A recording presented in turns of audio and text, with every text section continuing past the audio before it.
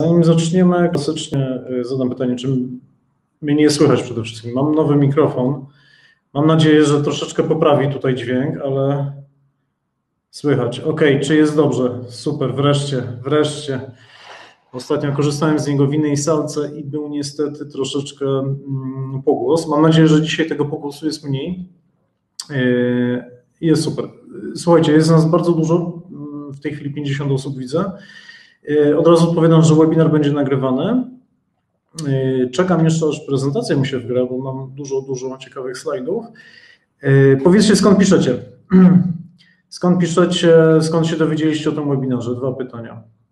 A ja od razu w międzyczasie zaglądam, czy już mam prezentację wgraną. Oczywiście wszystko, cały komplet udostępnimy na YouTubie w ciągu, no powiedzmy, jutrzejszego dnia najpóźniej. Zakopane, mailing, Norwegia, Facebook, Warszawa. Ok. Napiszcie jeszcze, czy inwestowaliście już, czy jesteście inwestorem którejś ze spółek CFI. To jest też najciekawsza rzecz. Opa. A więc tak, nie, nie. Tak, nie, tak. Ok, czyli mamy takie pół na pół. O, CFI 2. Super, ja też jestem w CFI 2. Pan Janusz jest w CFI Śląsk. Ok. Drodzy Państwo, zaczynamy w takim razie. Dziękuję serdecznie e, w ogóle za, za, za przybycie o takiej porze, powiedziałbym, świeżo po pracy dla niektórych. E, dzisiaj opowiemy o tym, deweloperka flipping, a może trudne kamienice. Jakby wszystkie tematy niby naraz, a każdy z nich tak naprawdę jest pokryty przez nowe spółki CFI. E, do pokrycia mamy mm, cztery tematy. Krótko dla tych osób, które mm, takie wprowadzenie, przypomnienie o grupie Missouri przede wszystkim z czego się składa grupa Missouri, czym się zajmujemy i skąd tak naprawdę mamy podstawę, żeby inwestować, dajmy na to w kamienicę czy, czy w deweloperkę.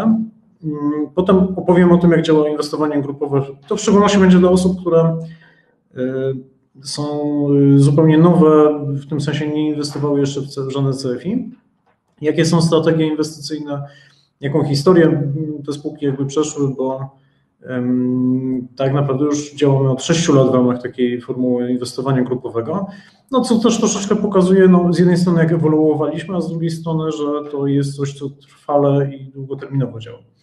Yy, opowiem też o zaletach, ale też i wadach inwestowania grupowego, bo nie jest to rozwiązanie idealne. I później opowiemy o, o trzech nowych spółkach, które y, przygotowaliśmy dla Państwa. Porównamy je i omówimy, co dalej y, z tymi spółkami się będzie działo. I na koniec odpowiemy na Wasze pytania. Y, możecie zadawać pytania na, na bieżąco. Postaram się odpowie, wplatać jakby odpowiedzi w, w treść, no ale na koniec będzie też jakby sekcja pytań i odpowiedzi dla Was. Krótko o grupie Missouri. Dla tych, którzy nas nie znają, jesteśmy największym w Polsce operatorem, firmą zarządzającą najmem mieszkań.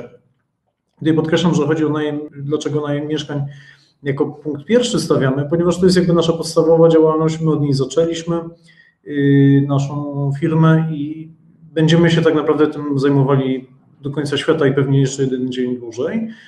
Ma to o tyle znaczenie, że wszystko, co, co robimy w naszych inwestycjach, jest skierowane na najem. To zobaczycie nawet dzisiaj w przypadku inwestycji deweloperskiej, którą planujemy, że ona jednak jest tak ukształtowana, żeby yy, była to inwestycja pod wynajem.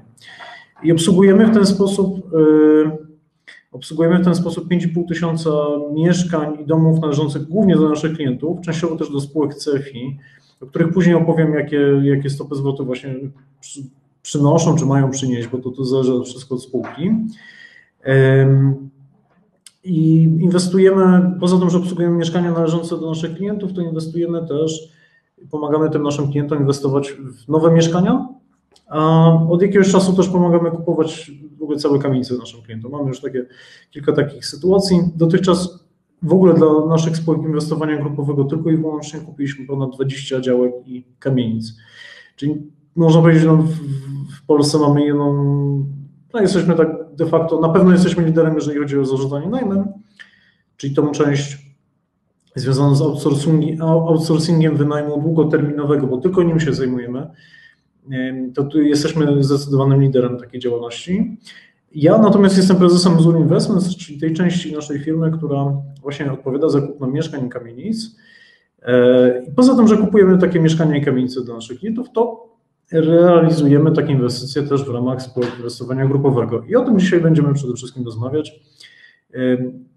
Jak to grupowe inwestowanie działa, na czym ono polega, czym to się je. Opowiem też oczywiście o tych stopach zwrotu, jakie dotychczas udało nam się zrealizować i o tych, które będziemy, powiedzmy spółki, które będą się kończyły. Pan Krzysztof wskazuje, że mamy, mamy pogłos. Ja może się lekko oddalę, ale to jest kwestia sali. Ja już, na, na to już nic nie poradzę. Sprzęt już mam chyba dobry, ale to już więcej nic, nic nie damy rady. Ok, jak działa inwestowanie grupowe, jak działa crowdfunding i to dotyczy crowdfundingu jakby tak zwanego, to się nazywa, jak KNF w ogóle to nazywa crowdfundingiem udziałowym, czyli sytuacją, kiedy kilku, kilkunastu, kilkudziesięciu albo nawet kilkuset y, inwestorów jakby postanawia jakby y, połączyć się wspólne, na wspólny cel. No i powiedzmy, od tego się troszeczkę zaczyna każda historia takiej spółki. Y, w ramach CFI to działa w ten sposób, że iluś tam inwestorów, w najmniejszej spółce mamy chyba 30, w największej mamy prawie 200 inwestorów, obejmuje udziały w spółce. Co to znaczy obejmować udziały w spółce? No staje się współwłaścicielem spółki. Spółka tworzy udziały, to znaczy części, to tak jak akcje w spółce akcyjnej, w spółce ZOO to są udziały i każdy inwestor, w zależności od tego, jaki kapitał chce zaangażować w, dan w daną spółkę, obejmuje jakąś liczbę udziałów. My w CFI postanowiliśmy, że to będzie mm, co najmniej 10 tysięcy złotych. Dlaczego 10 tysięcy złotych? No bo jest to po pierwsze znacznie mniej niż najmniejsza inwestycja w mieszkanie, ja osobiście najtańsze mieszkanie kupiłem za 30 parę tysięcy złotych, no ale remont kosztował drugie tyle, czyli łącznie wydałem 70 tysięcy. O 10 tysięcy to jest 7 razy mniej, znacznie mniej niż jakiekolwiek dzisiaj mieszkanie można znaleźć na rynku yy, i pewnie wiele, wiele, wiele lat temu można było takie mieszkanie kupić. Więc z jednej strony jest ten niski próg wejścia, nie da się, znaczy postanowiliśmy, że nie będziemy oferowali wejścia poniżej 10 tysięcy złotych z różnych względów, chociażby nawet koszt wypłacenia jakiejś dywidendy, koszt przelewu mógł być relatywnie droższy niż, niż, niż ta dywidenda, jakby mogłaby zjadać część, część kosztów. Więc taki przyjęliśmy model. Natomiast typowy inwestor w spółkach CFI w Missouri y, czasami zaczyna z 20 czy 50 tysiącami udziałów, ale mamy sytuację, kiedy inwestorzy mają 100 czy 400 nawet tysięcy złotych kapitału. Y, I co robi potem taka, taka spółka? Spółka nabywa jedną lub kilka, lub kilkanaście, lub kilkadziesiąt nieruchomości i następnie przeprowadza z reguły jakiś proces inwestycyjny. Czasami jest tak, że y, mamy mieszkanie, które wymaga tylko tak zwanego doposażenia, gdzie wstawiamy nowe meble, AGD i szukamy najemcy. Mamy sytuację, kiedy mieszkanie wymaga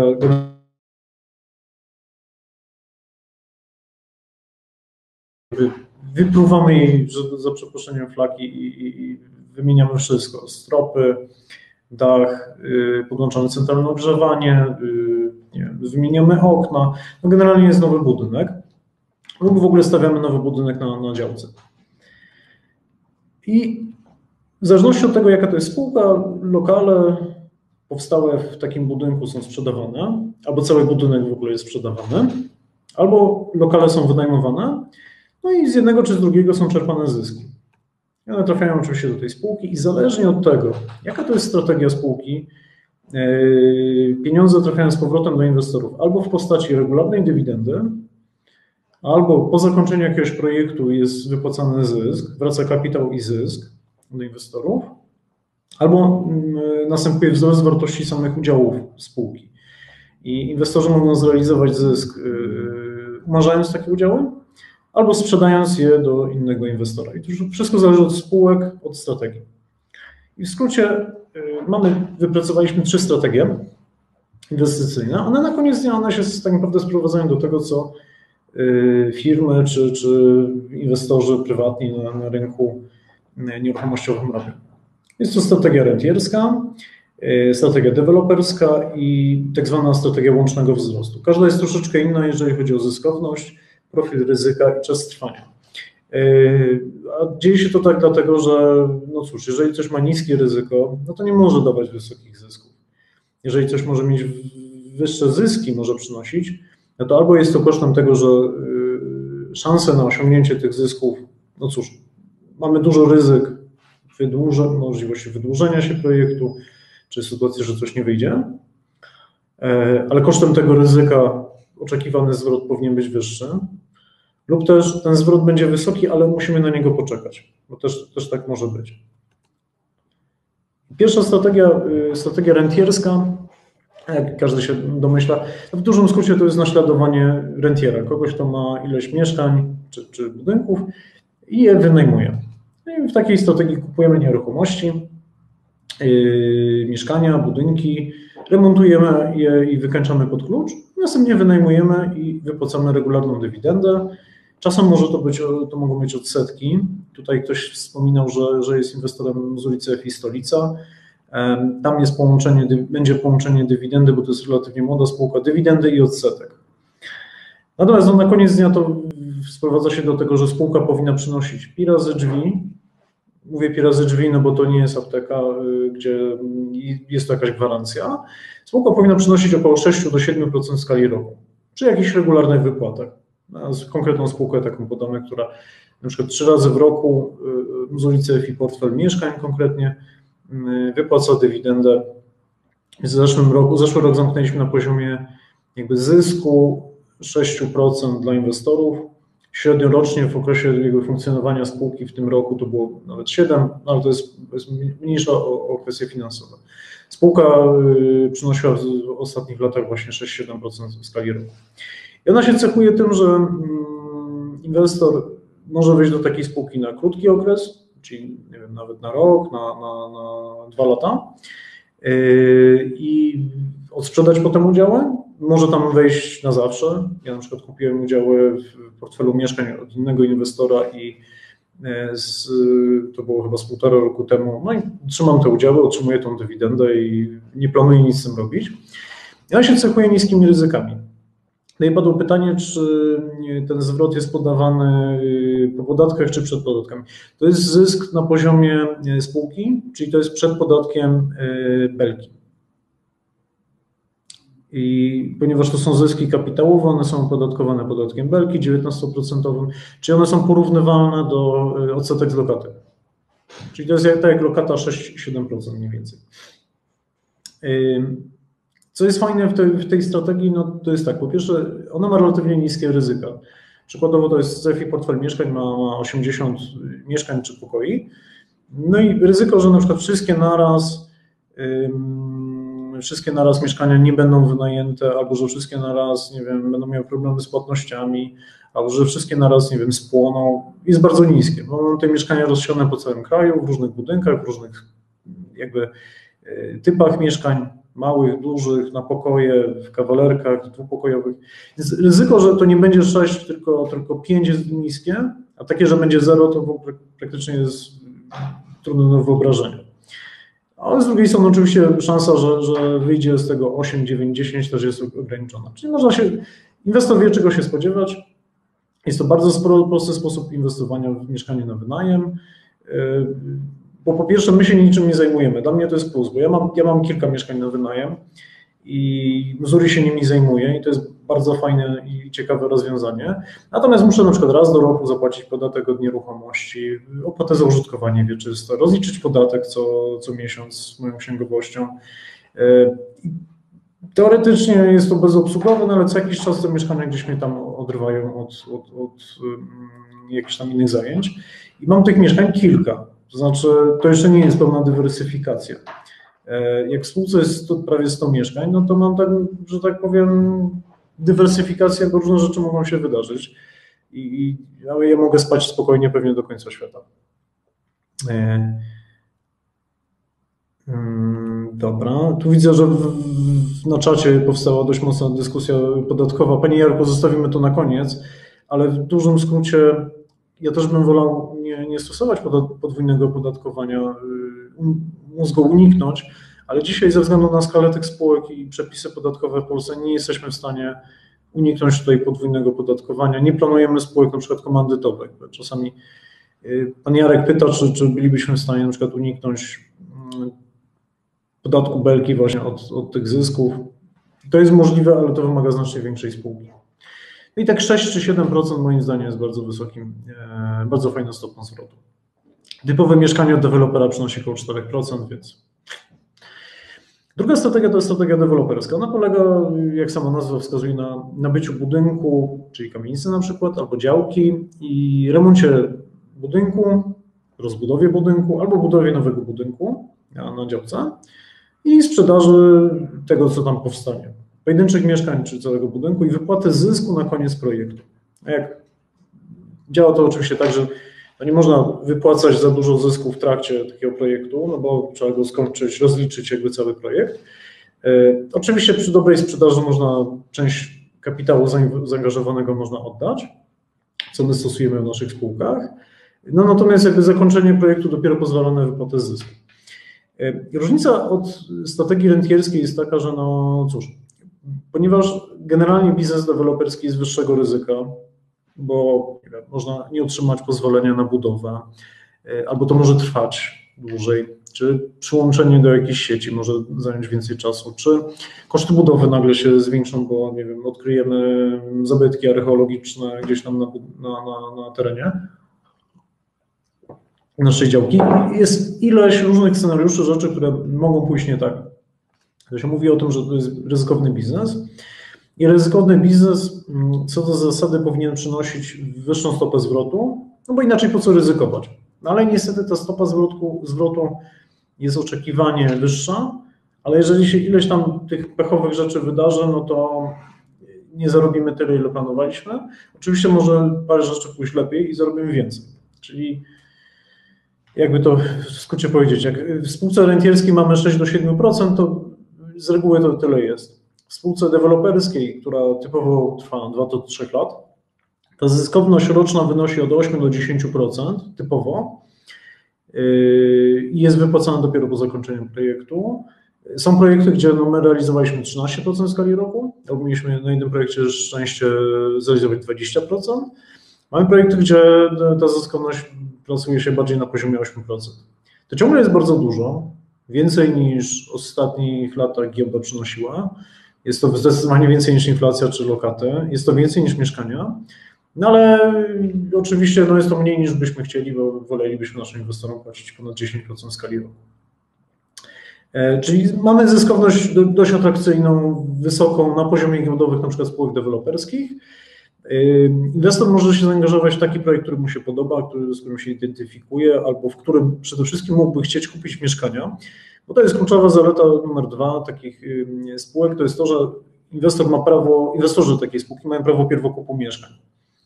E, czyli zanim oferta tych mieszkań trafi do, na szeroki rynek, to inwestorzy, że tak powiem, y, pierwsi dostają ofertę i mogą wybrać sobie takie mieszkania. Nie ma tam udogodnień cenowych, no, ponieważ to by różnicowało tych inwestorów, którzy kupią od tych, którzy nie kupią pod kątem zyskowności, ale pierwszeństwo też zawsze jest jakimś tam zyskiem. I trzecia strategia, która w ostatnich latach nam się mocniej wykształtowała, to jest tak zwana strategia łącznego wzrostu.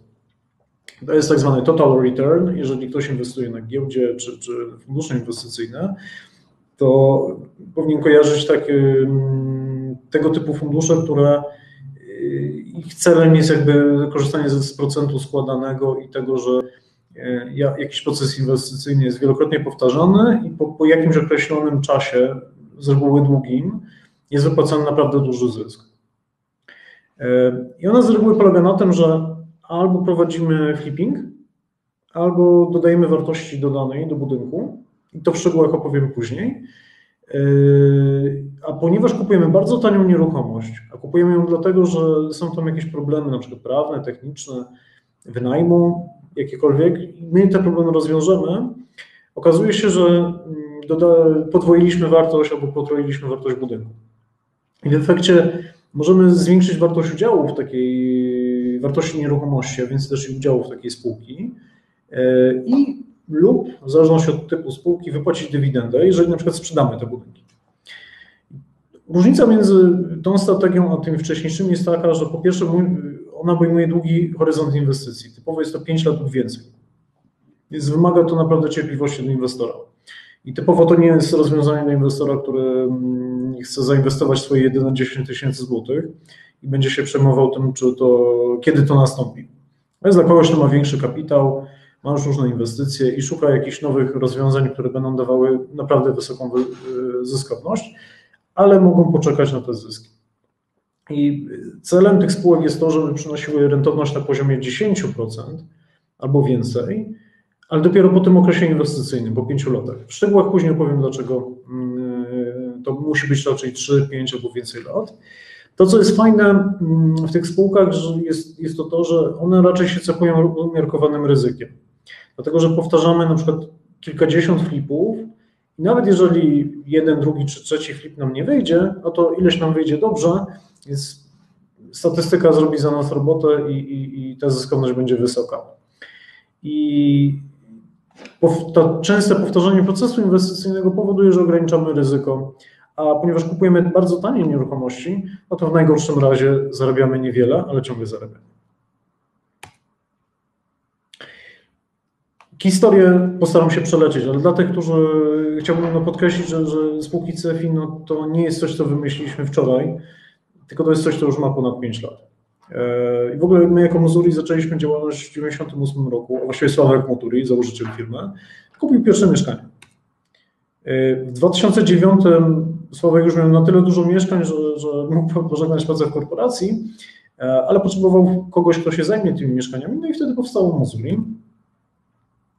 A w 2013 roku, w momencie, kiedy mieliśmy około 20 pracowników i 300 mieszkań pod zarządem, powstało Mozuri Investments. Część klientów zaczęła nas pytać, OK, e, wszystko działa z tym wynajmem, wszystko jest super, no to może pomóżcie mi mnie kupić takie mieszkanie kolejne. I Muzur Investments powstało bodajże w lipcu 2013 roku. Osobiście je zakładałem, bo byłem też pierwszym prezesem i założycielem spółki. I w pierwszym roku kupiliśmy bodajże w działalności około 30 mieszkań i pierwszą kamienicę. Czyli już 7 lat temu kupowaliśmy kamienice i mieszkania. Przypominając, do dzisiaj kupiliśmy ponad 1400 mieszkań, większość wyremontowaliśmy, ponad 20 budynków też to objęło.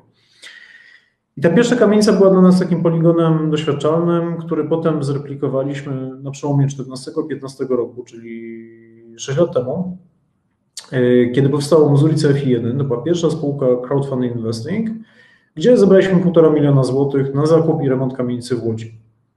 No, były takie piękne czasy, kiedy za 800 tysięcy można było kupić 700 metrów kwadratowych mieszkań, czyli 1100 zł mniej więcej, włożyć 4 miliony za, w remont budynku, projektowanie, podłączenie centralnego ogrzewania, doposażenie mieszkań, wykończenie mieszkań, koszty prowadzenia całej działalności i sprzedać te mieszkania, co y, pozwoliło wypracować pół miliona zysku co stanowiło ponad 30% jakby wzrostu wartości tego, co, co inwestorzy włożyli. Jak włożyli 10 tysięcy złotych, wyjęli 13 tysięcy złotych i w skali roku, ponieważ cały projekt trwał 2,5 roku, e, zarobili około 13%.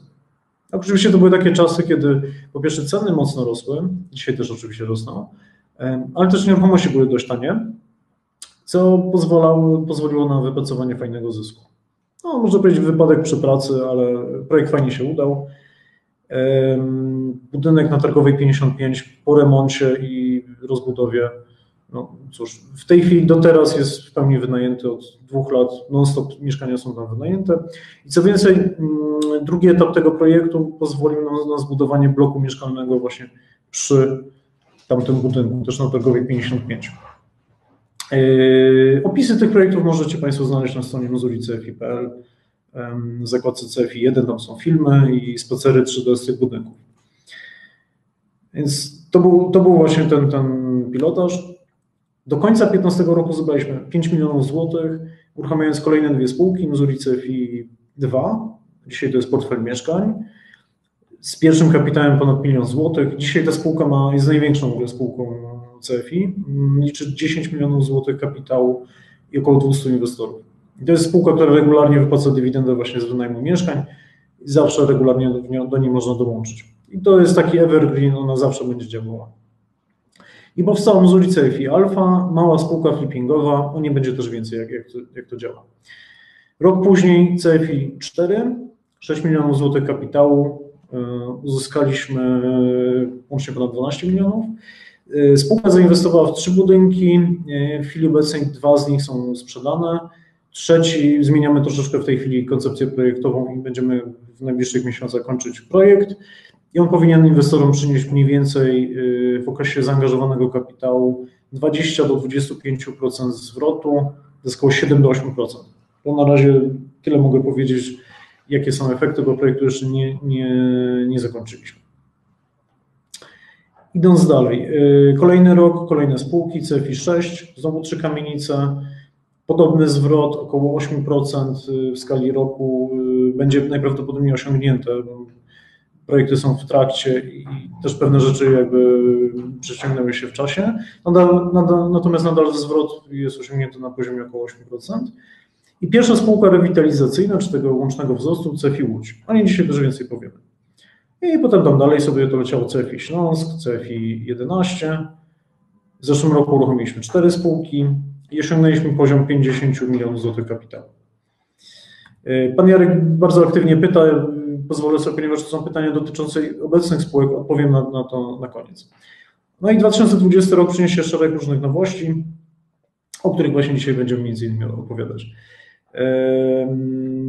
Tych budynków, które, bo dzisiaj jedna ze spółek jest deweloperska, więc warto się jeszcze pochylić na tym, że tych budynków no już trochę wyremontowaliśmy, e, bo ponad 10 budynków w całej Polsce jest wyremontowanych e, w ramach CEFI, w ramach naszych własnych inwestycji. Zarówno mieliśmy konwersję budynku biurowego na, na mieszkaniówkę, e, budowę nowego budynku, remonty kamienic, czy remonty takich większych domów niby dom jednorodzinny, ale jest praktyce wielorodzinnym. Więc tych doświadczeń już sporo mieliśmy i wiemy mniej więcej, co się może zepsuć, chociaż zawsze życie potrafi nas zaskoczyć. Teraz jeszcze, zanim przejdziemy do, do tych nowych spółek, krótko o zaletach inwestowania grupowego. Znaczy, jakie tu są plusy, plusy dodatnie i na koniec potem trochę o plusach ujemnych. Pierwszą zaletą, o której już mówiliśmy, to jest niski wkład kapitałowy. To nie ma co dyskutować, jakby na ile to jest fajne. Elastyczność zaangażowania już od 10 tysięcy złotych daje inwestorowi przede wszystkim to, że może albo systematycznie dokupywać udziały w różnych spółkach, albo rozpocząć ten kapitał między różne projekty. Jeżeli ma 100 tysięcy, może być w 10 spółkach, yy, które mają łącznie, nie wiem, 300 mieszkań i ileś tam projektów deweloperskich, jest to zdecydowanie większa dywersyfikacja niż kupienie jednego mieszkania w Bytomiu. Na tyle byłoby go stać. Kolejną rzeczą są w miarę atrakcyjne zyski. Mówię w miarę, bo e, nie są to zyski typu nie 20%, ile w internecie można znaleźć na różnych ofertach. E, to są zyski z reguły od 5 do 10% w skali roku. E, I staramy się właśnie takie, takie zyski komunikować w zależności od spółek. Moim zdaniem są atrakcyjne względem innych alternatywnych instrumentów o podobnym profilu czyli lokat. Dzisiaj na lokatach można uzyskać jakieś 1,3% bodajże. Jakieś promocyjne lokaty może 2%. Obligacje Skarbu Państwa przynoszą w tej chwili przy nowych naborach 2,7% maksymalnie. Na funduszach obligacyjnych pewnie 3 do 4%. ETF-y no to już zupełnie, zupełnie różnie, no bo ETF-y no, potrafią płacić dywidendę, ale też są wrażliwe na giełdę. Ci, którzy są na giełdzie wiedzą, że w ciągu ostatniego tygodnia wyparowało im 15% wartości, e, chociaż ostatni dzień dzisiaj odbijamy, więc tak, tak. z tą giełdą to różnie. E, kolejny slajd, tylko widzę, że się nie chce wczytać. No mamy jakiś problem techniczny. Y, w międzyczasie będzie się wczytywał, o jest. I to od razu jest odpowiedź na pytanie pana Jarka. Jest to w miarę bezpieczne też y, miejsce alokacji. Dlaczego mówię w miarę? No bo to nie jest lokata bankowa z funduszem, yy, że tak powiem, gwarancyjnym. Natomiast jak Państwa kapitał jest sobie za, zabezpieczony? Po pierwsze, Państwo są udziałowcami spółki, czyli nie mają Państwo jakichś papierowych wiem, certyfikatów, tylko Państwo są wpisani w Krajowym Rejestrze Sądowym, w KRS-ie na liście udziałowców. Są Państwo wymienieni w umowie spółki jako współwłaściciele określonej liczby udziałów w spółce. Czyli to jest jakby, mają Państwo procent w spółce. Teraz jak jest zabezpieczony majątek spółki, to po pierwsze jest to, że mm, tutaj tych elementów jest kilka, ale trzeba zacząć od tego, że y, większość kapitału jest po prostu majątkiem. Czyli CFI portfel mieszkań, tam jest 10 milionów złotych kapitału, mniej więcej wartość, znaczy zainwestowany kapitał, jaki został wydany na zakup nieruchomości, mieszkań konkretnie, tej spółki wynosi około chyba 9-9,5 miliona złotych. Czyli 90-95% jakby majątku tej spółki to, jest, to, jest, y, to są mieszkania. W spółkach deweloperskich to też są praktycznie w większości no, budynki. Musimy utrzymywać jakiś zapas gotówkowy na przykład na prowadzenie budowy, natomiast to, to nie jest tak, że nie wiem, ten, ten kapitał jest inwestowany w jakieś papiery wartościowe, w jakieś gwarancje, poręczenia i tego typu rzeczy. Spółki nie mają żadnych kredytów bankowych. Może się pojawić tylko sytuacja w spółce deweloperskiej, że kredyt bankowy inwestycyjny na przeprowadzenie inwestycji mógłby być wykorzystany ale to jest warunkowe i o tym dalej.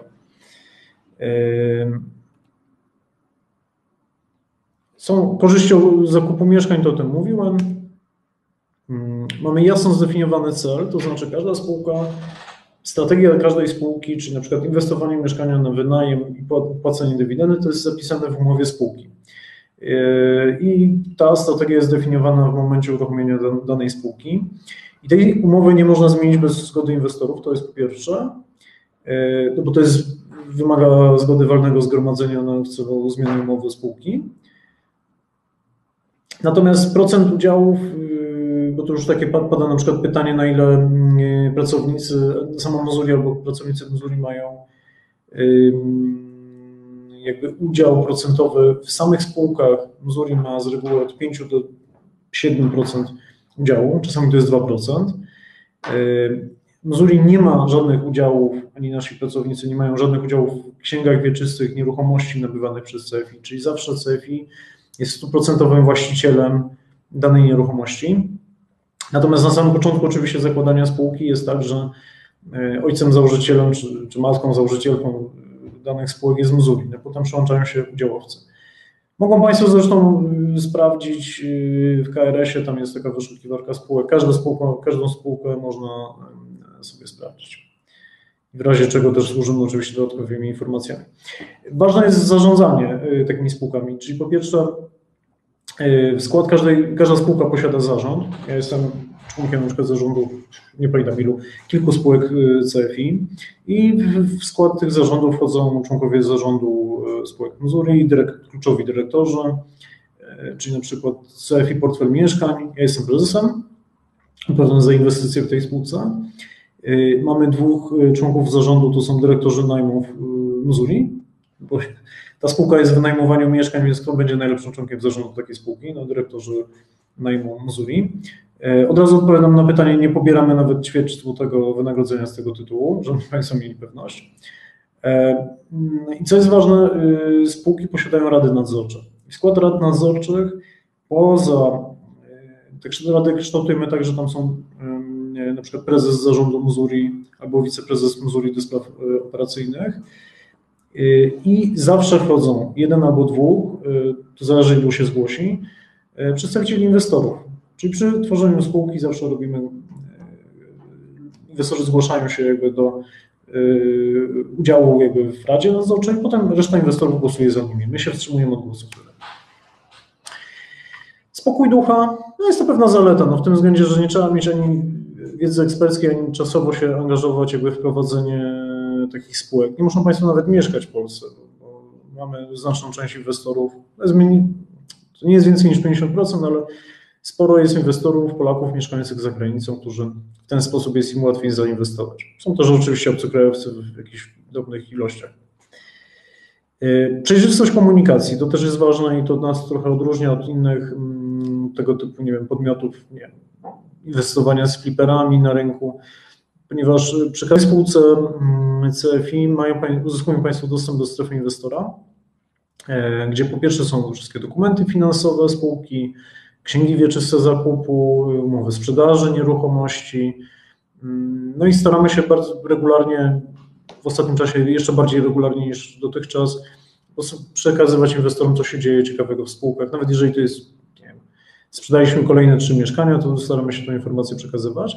I organizujemy też mm, webinary, począwszy od tego roku, które są poświęcone po prostu wydarzeniom spółki, żeby opowiedzieć o, o tym, co się dzieje w spółce e, i odpowiedzieć na pytania też inwestorów. Oczywiście pomijając to, są oczywiście też posiedzenia rad nadzorczych. Dzisiaj przykładowo mieliśmy w spółce Muzurice FI cztery telekonferencje z trzema przedstawicielami Rady Nadzorczej ze strony inwestorów. Tam akurat jest trzech. I aktualizowaliśmy z Radą Nadzorczą sytuacji spółki, sprzedaży ostatniego budynku, y, jaki jest, jaki, jaki jest status jakby tego procesu. I to jest jakieś tam przygotowanie do, do webinaru z inwestorami. I wreszcie last but not least, jak to się mówi, y, są różne opcje wyjścia jakby ze spółek. Przede wszystkim każdy inwestor może sprzedać udziały mm, należące do danego inwestora innemu inwestorowi na giełdzie udziałów. Mamy taki rynek wtórny dla, dla udziałów. Ja osobiście kupiłem na przykład od jednego inwestora udziały w ten sposób. Y, druga opcja to jest umorzenie w ramach spółki. Y, każda spółka ma taki okres czasowy, kiedy można udziały umarzać, czyli spółka po prostu spłaca inwestora. I w przypadku spółek rentierskich mamy specjalny fundusz. W przypadku, gdy inwestor nie znajdzie nabywcy udziałów, może go poprzez ten fundusz odsprzedać do Mzuri. Natomiast jest kilka wad, o których warto, warto wspomnieć. No, po pierwsze, wadą, dla niektórych to jest oczywiście korzyść i to jest jasne, y, to ograniczony wpływ inwestora na działanie spółki. To znaczy inwestor y, może wpływać oczywiście przez y, kandydowanie właśnie do Rady Nadzorczej albo bycie tym członkiem Rady Nadzorczej, może tak działać na, na rzecz spółki. Głosuje w ramach walnego zgromadzenia wspólników, które ma miejsce raz do roku. Też podejmuje decyzje poprzez pełnomocnika, który jest zobowiązany głosować zgodnie z jego życzeniami. No ale na koniec dnia jednak no, mówimy inwestorom sorry, ale my się zajmujemy tutaj robotą. Znaczy, yy, po to my jesteśmy, po to my się tym zajmujemy, po to jest tak zwana opłata administracyjna, którą spółki po prostu ponoszą względem naszej firmy, yy, żebyśmy my się tym zajmowali. No i żeby też, że tak powiem, no, nie wiem, 200 inwestorów nie wymyślało, co mamy z danym mieszkaniem zrobić. Znaczy, to nie jest spółdzielnia, no to jednak jest, jest prosty układ, że jest zarząd, który odpowiada. Zresztą kodeks spółek handlowych to jasno definiuje i umowa spółki. Jest rada nadzorcza, która kontroluje. No i inwestorzy, którzy po prostu czekają na, na wyniki, nic innego ich nie interesuje. Ja jest wada, ale dla mnie też zaleta. Y, pewną wadą jest to, że nie da się finansować zakupu udziałów kredytem hipotecznym. No ale nie ma co się poszukiwać. No, mało który bank pewnie dałby na taką działalność kredyt. Y, I w pewnych spółkach, zwłaszcza na przykład w spółkach deweloperskich, istnieje, istnieją te ograniczenia w wychodzeniu ze spółki. To znaczy, odsprzedać udziały może w każdym momencie, ale w spółce deweloperskiej umowy ograniczają bezkosztowe wyjście ze spółki y, pierwszych na przykład 18 miesiącach działania. No bo to byłoby dziwne, że zaczynamy budowę, a inwestor teraz chce wyciągnąć swoje pieniądze. No to nie, to trzeba jasno sobie powiedzieć, że jak wchodzimy w spółkę deweloperską, to już tam musimy zostać przez yy, pierwsze na przykład 18 miesięcy. No dobrze, yy, przedmieliśmy jakby przez teorię, no to teraz jakie, jakie spółki tak naprawdę, jakie spółki yy, mamy dla Państwa jakby od marca w przygotowaniu. I spółki są trzy. Część z Państwa pewnie już widziała w mailingach albo w zerach yy, informacje właśnie o trzech spółkach. Muzuri CFI 5, Muzuri CFI Beta, Muzuri CFI Cierpliwe Kamienice. Każda nazwa trochę jest taka, niewiele mówi. Więc od razu do konkretu. Muzuri CFI 5 yy, to jest spółka deweloperska, która tak naprawdę już istnieje od yy, ponad dwóch lat została założona jeszcze w 2016 bodajże roku i spółka realizuje strategię deweloperską. Konkretnie będzie budowała budynek mieszkalno-usługowy w Gliwicach przy ulicy Opolskiej. W skrócie powstanie tam po pierwsze 14 mieszkań, 8 małych kawalerek i 6 mieszkań takich 60-70 metrów. I dom studencki, samodzielny, jakby taką odrębną część budynku, gdzie będzie 28 samodzielnych lokali użytkowych z funkcją mieszkalną. I obecnie mamy wszystko zaprojektowane. To jest przykład projektu kondygnacji, e, bo praktycznie jesteśmy przed dniu złożenia wniosku o pozwolenie na budowę. Co chwilę tam się delikatnie coś obsuwa, bo na przykład zarząd dróg coś zaczyna zmieniać, albo trzeba nowe warunki przyłączenia wystąpić, więc nie uruchomiliśmy tej spółki do czasu, kiedy nie będziemy gotowi właśnie na złożenie wniosku o pozwolenie na budowę. To jest taki po pierwsze taki newralgiczny moment przygotowania spółki projektu deweloperskiego, kiedy ciągle się projektuje, ciągle się zbiera jakieś dokumenty. Dopiero jak to się złoży do urzędu, to zaczynają biec terminy urzędowe i konkretnie to jest 60 dni na wydanie pozwolenia na budowę, jeżeli wszystko jest kompletne. Z reguły oczywiście znowu tam trzeba coś dodać do takiego projektu. Czasami projekty są opiniowane przez sąsiadów. No tutaj mamy taki, taką sytuację, że budynek będzie zabudowany od pierzei, od tej kamienicy po lewej do drugiej kamienicy po prawej, więc na przykład tutaj będzie zmieniana konstrukcja tego budynku. Więc oczywiście to będzie opiniowane też przez sąsiadów, co może wpłynąć na termin uzyskania pozwolenia. Nie wpłynie na, na, na, na to, czy będzie to uzyskane, bo to jest kwestia już architektów, że muszą to tak zaprojektować, przygotować konstrukcję, żeby to było zgodne z prawem.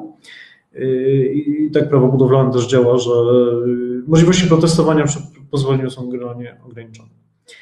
No to teraz w szczegółach, jak, jak, jak to będzie działało? Ta część po lewej y, tego budynku to będzie dom studencki. Czyli tutaj będzie niezależne wejście, recepcja i, i część mieszkalna studencka. Będą tam małe, małe mieszkania od 15 do, do około 19 metrów kwadratowych.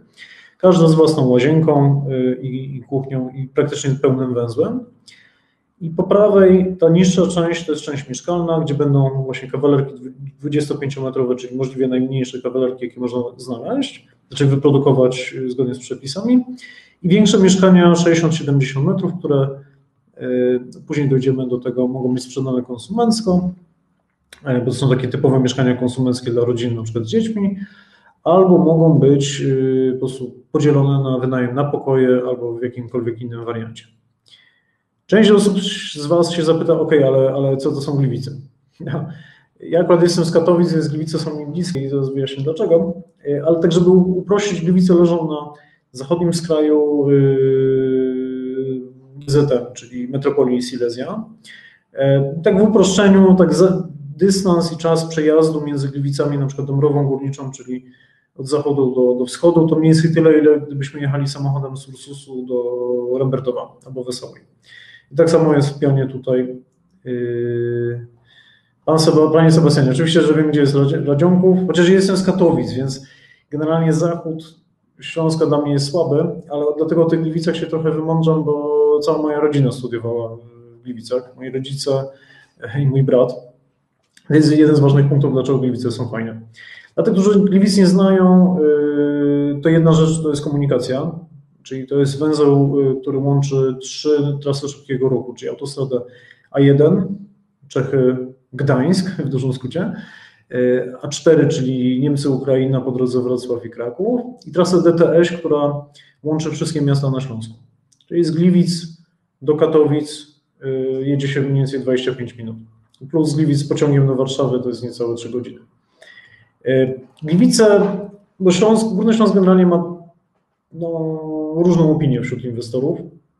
E, zapraszam w ogóle wszystkich z Państwa do, do wejścia na YouTube Missouri, e, gdzie razem z koleżanką przygotowaliśmy ponad półtora roku temu, albo chyba nie, rok albo dwa lata temu przygotowaliśmy cały taki raport poświęcony Śląskowi.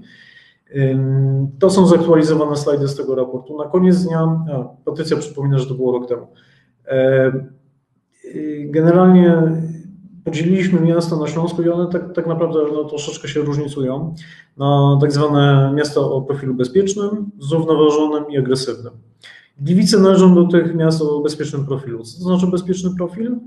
Katowice, Gliwice, Tychy to są miasta o bardzo niskim bezrobociu, wysokim wynagrodzeniu, zróżnicowanym rynku pracy i często też uczelnią. Bo Gliwice e, no to jest miasto średnich rozmiarów, 180 tysięcy mieszkańców. Ponad 10% mieszkańców to są studenci, to jest właśnie 10 wydziałów Politechniki Śląskiej, w tym architektura to akurat moi rodzice kończyli, czy informatyka to mój brat kończył, co skutkuje tym, że oczywiście tam są wydziały mechaniczne, to skutkuje tym, że Gliwice poza uczelnią to jest też bardzo prężny przemysł motoryzacyjny, czyli przede wszystkim fabryka Opla, która ma jakieś tam swoje różne perypetie, ale y, ciągle się broni przed jakimikolwiek zmianami czy zamykaniem. Jest dość duża branża IT, mianowicie na przykład jeden z największych polskich y, outsourcerów usług IT, czyli Vasco, y, ale też są firmy zagraniczne jak EUWIC, dużo mniejszych startupów. Mamy z energetyki mamy y, Tauron Dystrybucję i Tauron bodajże sprzedaż ma siedzibę i szereg różnych innych firm produkujących różne rzeczy. Amazon, Patrycja podpowiada, mamy Bumar Webendy, na przykład zbrojeniówka, Zbrojeniówka z reguły, czy jest wojna, czy jej nie ma, dobrze, dobrze jej się wiedzie. E, no i generalnie to jest dość przyjemne miasto e, do mieszkania. Patrycja mogłaby się więcej na ten temat wypowiedzieć, to dlatego, że Patrycja jest naszym, naszym pracownikiem na Śląsku, sama zresztą tą działkę pozyskała. E, to jest miasto dość zróżnicowane, bo tak z jednej strony to jest najstarsze miasto, jedno z najstarszych miast na Śląsku, ma ponad 6 wieków bodajże, czyli ma taką klasyczną starówkę. No i ma też nową zabudowę, zabudowę z czasów właśnie PRL-u, czyli też głównie Politechnika z tamtych czasów. No i generalnie no, bezrobocie na poziomie 2,2% to jest poziom Warszawy czy Katowic, czy, czy, czy Krakowa, czy Gdańska, największych miast. I miasto stanowi, znaczy powiat generuje 12% wartości dodanej całego województwa, więc ma duże znaczenie po prostu po Katowicach de facto y, na równi z Tychami to jest najsilniejsze miasto gospodarczo y, na Śląsku. Teraz, gdzie jest sama działka? Opolska 7 przez 9 to jest, to nie jest śródmieście, to jest tak zwane Zatorze, Szobiszowice Zatorze. Jest na tyłach Centrum Handlowego Forum, to jest zabudowa kamienic, y, to są nowe osiedla mieszkaniowe. Jest na tyłach Centrum Handlowego, bezpośrednio przy dworcu głównym, którym można właśnie jakieś 20 minut dojechać do Katowic, albo 3 godzinki do Warszawy, czy godzinkę, do, godzinkę z hakiem do, do Wrocławia. E, blisko trasy DTS, to jest ta DTS-ka tak zwana, czyli droga szybkiego ruchu do, e, do innych miast śląskich. E, praktycznie 15 minut zaczynają się wydziały, tutaj jest Wydział Mechaniczny i pozostałe Wydziały Politechniki Śląskiej, no i tu jest Stare Miasto. Co jest ważne, mimo tych świetnych fundamentów rynku, znaczy kupa studentów, bezrobocie bardzo niskie, wysokie wynagrodzenia, dużo pracowników, w Gliwicach rynek deweloperski jest bardzo mały. To jest ważne do każdej inwestycji deweloperskiej, jaka jest konkurencja. Dzisiaj sprawdzałem na rynku pierwotnym, bo zresztą nawet byłem w tej firmie, to jest jeden z największych portali y, z ofertami mieszkań deweloperskich y, w Polsce. Oni na swoim portalu mają w Gliwicach 800 ofert mieszkań. 800 ofert na mieszkanie, które, na miasto, które liczy 180 tysięcy mieszkańców, z czego część, duża część tych projektów jest poza ścisłym centrum, tutaj oznaczonym tym kółkiem. Ścisłym centrum jest raptem 280 ofert mieszkań, z czego małych mieszkań, czyli takich na wynajem, jest raptem 56. E, co więcej, o ile średnie ceny mieszkań się zaczynają w Gliwicach dzisiaj na poziomie 5300 zł, no to głównie są te historie gdzieś tam hen daleko. Y, małe kawalerki zaczynają się znowu na, na takich odległych lokalizacjach od 6,5 tysiąca złotych, ale tak naprawdę w centrum, w stanie deweloperskim mieszkania zaczynają się od 8 tysięcy złotych praktycznie. I praktycznie ich nie ma, więc y, relatywnie powinna być łatwa sprzedaż. Planujemy ten projekt na od 22 do 31 miesięcy realizacji w trakcie zaangażowania już inwestorów. Czyli w momencie jak w marcu, dokładnie jeszcze nie, nie, nie mogę powiedzieć, bo jeszcze finalizujemy ostatnie przygotowania spółki e, do zbiórki kapitału, e, to zależnie od wariantu, jak nam się wszystko powiedzi w urzędzie, z sąsiadami, z budową i sprzedażą mieszkań, optymistycznie projekt powinien zostać zakończony w około półtora roku. To jest taki wariant, że szybko dostaniemy pozwolenie, Budowa przejdzie bezproblemowo, y, a mamy nadzieję zastosować elementy prefabrykowane, które przyspieszają ten proces i zrealizować dość szybko sprzedaż mieszkań, ponieważ no raczej mamy tanie mieszkania w relatywnie atrakcyjnej cenie i zwrocie. No i potencjalnie jest to w ogóle projekt, który może być sprzedany w całości. Pesymistycznie, jeżeli na przykład pozyskanie PNB przedłuży się, będzie trwało znacznie dłużej razem z wyborem generalnego wykonawcy. Budowa będzie trwała też, będzie wydłużona, bo nie wiem, przykładowo będą problemy z fundamentami i sprzedaż i rozliczenie spółki będzie trwało dłużej niż planujemy, no to może to sięgnąć do 31 miesięcy. Planujemy sprzedaż, mamy już taki wstępny cennik, yy, sprzedaż najtańszych mieszkań w cenie w stanie deweloperskim 140 tysięcy złotych za mikroapartamenty, kawalerki w cenie 200 tysięcy i większe mieszkania około 450 tysięcy, to nam daje cenę, średnią cenę około 8 tysięcy złotych, przy czym duże mieszkania byłyby sprzedawane trochę poniżej rynku, na poziomie około 7 tysięcy złotych, kawalerki na poziomie 8 tysięcy złotych, czyli cena rynkowa. I mikroapartamenty, cena za metr tak naprawdę jest jakby zwodnicza, bo to ta niska cena za metr ma, ma sens. Pan Jarek y, uruchomił polemikę na temat cen. Podyskutujemy. Panie Jarku, sprzedajemy mieszkania czasami nawet po 16-18 tysięcy złotych. Znaczy, to, nie jest, to nie jest rozmowa, w, wydaje mi się, w tej chwili na polemikę o tym, na jaka jest ta spółka. Potem będziemy mieli dedykowane potem webinary na temat y, każdej spółki z osobna. Pan Kazimierz pyta, czy to będą na przykład dwupłaki. Nie. Generalnie to wszystko będą mieszkania samodzielne, czyli za każdym razem jest nabywane jedno pojedyncze mieszkanie. Generalnie dzisiaj, żeby kupić na rynku w Gliwicach mieszkanie na poniżej 150 tysięcy do remontu mieszkania praktycznie dzisiaj się nie da. Yy, więc yy, de facto naszym zdaniem to jest konkurencyjna cena. No, za nowe mieszkanie w dobrej lokalizacji, z wartym budynku. Biorąc pod uwagę, co sprzedajemy z innych projektów, yy, w zeszłym roku takich mieszkań sprzedaliśmy około 100 w całej Polsce. Wiemy, po jakich cenach sprzedajemy te mieszkania nie wydaje nam się, że to będzie problem. Znaczy to będzie, jak to się mówi, easy. Tym bardziej, że tych mieszkań dużo nie ma. Jest ich raptem 42 e, mieszkania. E, biorąc pod uwagę, że mamy setki inwestorów i rocznie sprzedajemy łącznie z mieszkaniami z rynku wtórnego no, paręset, to jest do zrobienia. E, ale pyta, czy wynajem biura przez Missouri ma sens? Tu nie mam biur.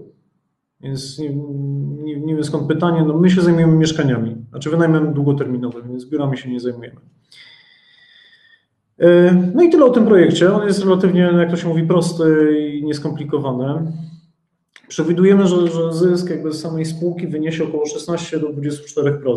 To jest oczywiście przewidywanie, no bo to, tak jak mówiłem, to jest ryzykowna działalność w tym względzie, że nie wszystkie rzeczy są pewne. Na przykład pan Jarek twierdzi, że nie sprzedamy Yy, pan, Jarek twierdzi, że nie sprzedamy mieszkań w tej cenie. OK, to być może sprzedamy je trochę taniej i to dłużej zajmie. No to, to jest wliczone w te ryzyko, że ten zysk może być trochę niższy. Co biorąc pod uwagę, że spółka i zaangażowanie kapitału i czasu inwestorów różnie może przebiegać, prognozujemy, że zwrot na zaangażowanym kapitale inwestora może osiągać między 8 a 12%. Szczegóły będą w momencie, jak uruchomimy spółkę, to będziemy dokładnie pokazywać te zwroty. W dużym skrócie będzie to działało tak, że będą dwie transze. Transza marcowa, mm, która będzie ryzykowała tym, że nie wiadomo kiedy jeszcze uzyskamy dokładnie pozwolenie na budowę, ale to będzie transza, można powiedzieć, takich pionierów.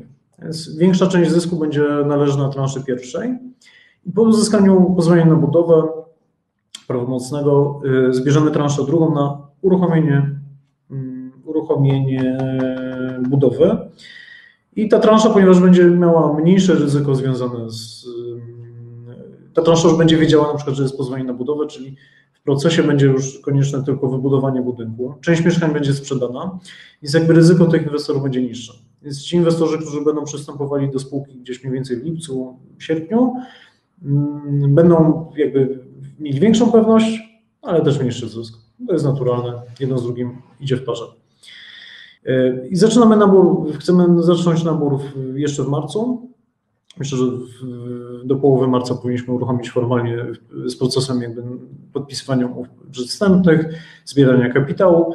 Natomiast no, de facto no po to mamy dzisiaj też ten webinar, że na koniec tego webinaru będzie po pierwsze ankieta do Państwa, to już też od razu zapowiem. I już w tej ankiecie będą mogli Państwo zasygnalizować, że na przykład ta albo inna spółka Państwa interesuje i yy, będziemy wiedzieli, że do Państwa w pierwszej kolejności przyjść. Bo będziemy zbierali na przykład tej spółce do wyczerpania puli, ponieważ na realizację tego projektu potrzebujemy około 4 milionów złotych. W pierwszej transzy to będzie mniejsza część kapitału, yy, no więc będzie zasada, kto pierwszy, ten lepszy. Yy, no i cóż, tak to będzie działało, więc lepiej się zgłosić teraz. Mm. Pan Al jeszcze w ramach pytań, w ramach pytań, tutaj pojawiają się takie pytania, na przykład pan Al pyta, czy e, spółka ma w kosztach koszt wynajmu biura i czy wynajem biura przez wzór ma sens. OK. De facto my nie wynajmujemy osobnego biura na przykład dla spółek CFI, no bo to wszystko realizujemy w ramach tych naszych biur, które wynajmujemy no tu w Warszawie. To, to nie są biurowce, to, jest, to są takie lokale użytkowe w kamienicach, więc nie wiem, czego pytanie dotyczy, ale okej, okay, no wynajmujemy, robimy to tanio. Pan Jarek pyta, czy planujemy zniżki dla osób, które chcą zainwestować w kilka spółek. Y, nie wiem, jakie zniżki znowu, bo my nie, za, nie, nie, nie, ponosimy przychodu z tego, że pan zainwestuje w jakąś spółkę. No, to jest kapitał wniesiony do spółki, niż cena udziału. To tak nie działa. Znaczy, innych inwestorów to nie interesuje, że pan zainwestuje w kilka spółek. A to, to jest po prostu kapitał na, na poczet tych spółek, więc to jedno z drugim nic nie, nie ma wpływu. Pan Michał pyta, czy jest minimalna y, kwota wkładu. No to jest 10 tysięcy złotych. Maksymalna, de facto nie ma maksymalnej. Raczej dążymy do tego, żeby nie, nie tworzyć dominacji inwestorów w spółce, to po pierwsze. Chociaż nie narzucamy jakichś tam twardych granic. No po drugie, raczej byśmy zniechęcali, żeby dużą ilość kapitału angażować na przykład spółkę deweloperską. Ta spółka ma jakieś tam ryzyka, ona może się opóźniać, ceny mogą spaść, yy, sprzedaż może być trudniejsza, budowa będzie yy, nie wiem, bardziej kosztowna. I sami byśmy rekomendowali inwestorom, żeby mm, inwestując w taką spółkę, no, zachowali jakieś granice czy, czy zasady dywersyfikacji. Czyli jeżeli ktoś ma 100 tysięcy, to raczej nie wkładać 100 tysięcy w taką spółkę, tylko prędzej mniejszą kwotę. Jak ktoś ma milion, to też nie milion, tylko raczej część tego miliona, no tak dalej. Myślę, że to jest dość, dość naturalne, ale czasami są zapędy, żeby wszystko postawić na jedną, na jedną kartę. Zniechęcam do tego, szczerze. Yy, pan Kazimierz pyta, czy bierzemy pod uwagę, że sprzedaż projektu może wypaść w środku następnego kryzysu lub bezpośrednio po nim. Jakie jest ryzyko? Panie Kazimierzu, na pewno taki wariant, znaczy on jest możliwy i go zawsze rozważamy i w szczegółowych materiałach dotyczących analizy tej spółki będziemy pokazywać analizę wrażliwości, co by było, gdyby projekt się wydłużył, co by było, gdyby ceny spadły. Yy, w zakresie tematyki, czy, czy ceny mogą spadać, Yy, jakie jest do tego ryzyko, no po prostu przeprowadziliśmy ostatnio też inny webinar, no to też zapraszam na kanał YouTube. Dwie godziny gadania, więc nie mamy czasu na to. Proszę Państwa, dużo pytań się pojawiło, idziemy dalej, potem wrócimy do pytań. Bo na końcu jest właśnie na przykład odpowiedź na pytanie, yy, pytanie było takie, yy, ile procent na które poszczególne spółki angażować. Na końcu będziemy o tym mówić w porównaniu spółek. CFI Beta. O co chodzi z taką spółką? Yy, CFI Beta będzie spółką flippingową. Ona będzie de facto naśladowała to, co robią tak zwani flipperzy. Ci z Państwa, którzy są dużo na rynku nieruchomości, już pewnie znają to hasło. Yy, ci, którzy nie działają na rynku nieruchomości, flipper to jest osoba, która, można powiedzieć, niektórzy twierdzą, że spekuluje, niektórzy twierdzą, że dodaje wartości yy, nieruchomościom. W skrócie kupuje nieruchomość, kupuje jakąś nieruchomość, może ją wyremontować i sprzedać drożej, bo, bo włożył czas i pieniądze i doświadczenie w remont. Może po prostu kupić tanio, sprzedać drogo, bo znalazł okazję. Może kupić coś, co ma problem i rozwiązać ten problem, czyli jakąś, nie wiem, wadę prawną. Robi różne rzeczy, które, żeby z, w skrócie wyciągnąć zysk z obrotu mieszkaniami albo budynkami. CFI Beta konkretnie będzie realizować strategię łącznego wzrostu, bo spółka będzie przez kilka lat powtarzać cały proces tych flippingów. Yy, inwestując w szybki obrót mieszkaniami, szybki, czyli w relatywnie łatwe mieszkania albo łatwe budynki. Ja to za chwilę zdefiniuję, co to znaczy łatwy budynek. Planujemy zebrać kapitał co najmniej 5 milionów złotych, ponieważ yy, po naszych doświadczeniach z CFI Alpha, która miała 1,5 miliona złotych, wiemy tyle, że mm, większy kapitał pozwala po pierwsze na dywersyfikację tego portfela flipów, Teraz dowiecie się Państwo o co chodzi. I realizację większych inwestycji, czyli na przykład zakupu kamienicy albo koinwestycji z inną spółką CFI w jakiś większy projekt. I tutaj chcemy się oprzeć przede wszystkim na pięciu latach doświadczenia z flippingu, jaki prowadzimy my jako grupa Missouri, głównie właśnie w ramach Missouri CFI Alpha, ale też różnych innych spółek. Teraz, jaka będzie strategia tej spółki? Yy, beta po pierwsze będzie się koncentrowała na większość portfela inwestycji, ponad 60%, yy, będzie koncentrowała w łatwo zbywalnych mieszkaniach, co uznajemy jako łatwo zbywalne. Zaraz będą statystyki, ale yy, jakby, żeby to opowiedzieć, łatwo zbywalnym mieszkaniem dla mnie przynajmniej to jest prosta, zwykła, najnormalniejsza kawalerka, albo ewentualnie małe dwa pokoje. Mm, tutaj od razu mówię, że to są mieszkania jakby przeznaczone na wynajem. Bo takich mamy klientów, takimi, na takich mieszkaniach się znamy, czyli nie będziemy robić, nie wiem, apartamentów, yy, jakiegoś pięknego premium, dużych mieszkań dla rodzin, że, które chcą sobie kupić, bo się na tym nie znamy. Nie mamy takich klientów. E, I to zostawiamy innym fliperom. Jest dużo innych firm czy, czy, czy podmiotów, które się tym zajmują. My wolimy naszą niszę. Czyli proste kawalerki, małe, y, dwa pokoje. Przede wszystkim mieszkania o bardzo niskiej łącznej cenie, która pozwala po pierwsze klientom, naszym klientom, którzy będą, będą odkupywali te mieszkania po remoncie, yy, będą je kupowali za gotówkę. Czyli tanie mieszkanie dla mnie to jest mieszkanie w wartości powiedzmy do 200 do 300 tysięcy złotych. W Warszawie to może być powiedzmy 320 w taniej lokalizacji, no ale o tym więcej. Raczej nie będziemy inwestować w Warszawie, tylko raczej w tańszych miastach, tam gdzie najprościej nam znaleźć inwestorów, tam gdzie najczęściej właśnie inwestujemy. Będziemy raczej inwestować w takie mieszkania, które jeżeli jest remont, to to jest raczej prosta historia typu, yy, można powiedzieć, homestaging, nie wiem, remont łazienki, wymiana mebli, nowe sprzęty, ewentualnie zwykły remont generalny kawalerki w bloku, gdzie nie ma zbyt wielu niespodzianek. Pozostałe 40, nie więcej niż 40% portfela chcielibyśmy warunkowo, jeżeli będą dobre okazje o, o atrakcyjnej stopie zwrotu, angażować bardziej ryzykowne inwestycje.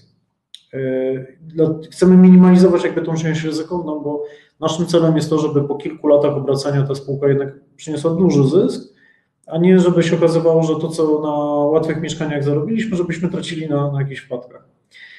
I ta mniejsza część portfela będzie koncentrowana albo na trudnych mieszkaniach, czyli podział mieszkania na pokoje, chociaż tych produktów jest dużo na rynku i raczej to jest warunkowane lokalną sytuacją danej oferty, yy, wykonaniem dwupaku, ale w sposób znowu ugruntowany prawnie, czyli z projektami wentylacji, co znowu zajmuje czas i, a czas jest wrogiem kill flippingu, czy na przykład proste poddasze, ale poddasze nigdy nie są proste, więc mamy, mamy tę świadomość, że trzeba raczej od nich, ich unikać i to już musi być bardzo oczywista inwestycja, tania inwestycja, żeby ją przeprowadzić, czy też po prostu droższe mieszkania, gdzie trudniej o gotówkowego.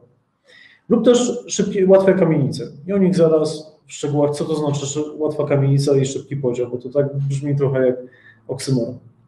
Dodatkowe założenia są takie, że yy, te mieszkania, które będziemy generować, to przede wszystkim to będą mieszkania wykończone pod klucz i wynajęte. Czyli Missouri robi takie specyficzne gotowce, gdzie już jest najemca, zweryfikowane przez Missouri, przez wszystkie procedury, które u nas w spółce funkcjonują. Czyli klient, który kupuje u nas mieszkanie, on nie kupuje metrów, cegieł, okien czy takich rzeczy. On kupuje yy, mieszkanie z działającą umową najmu i konkretną stopą zwrotu.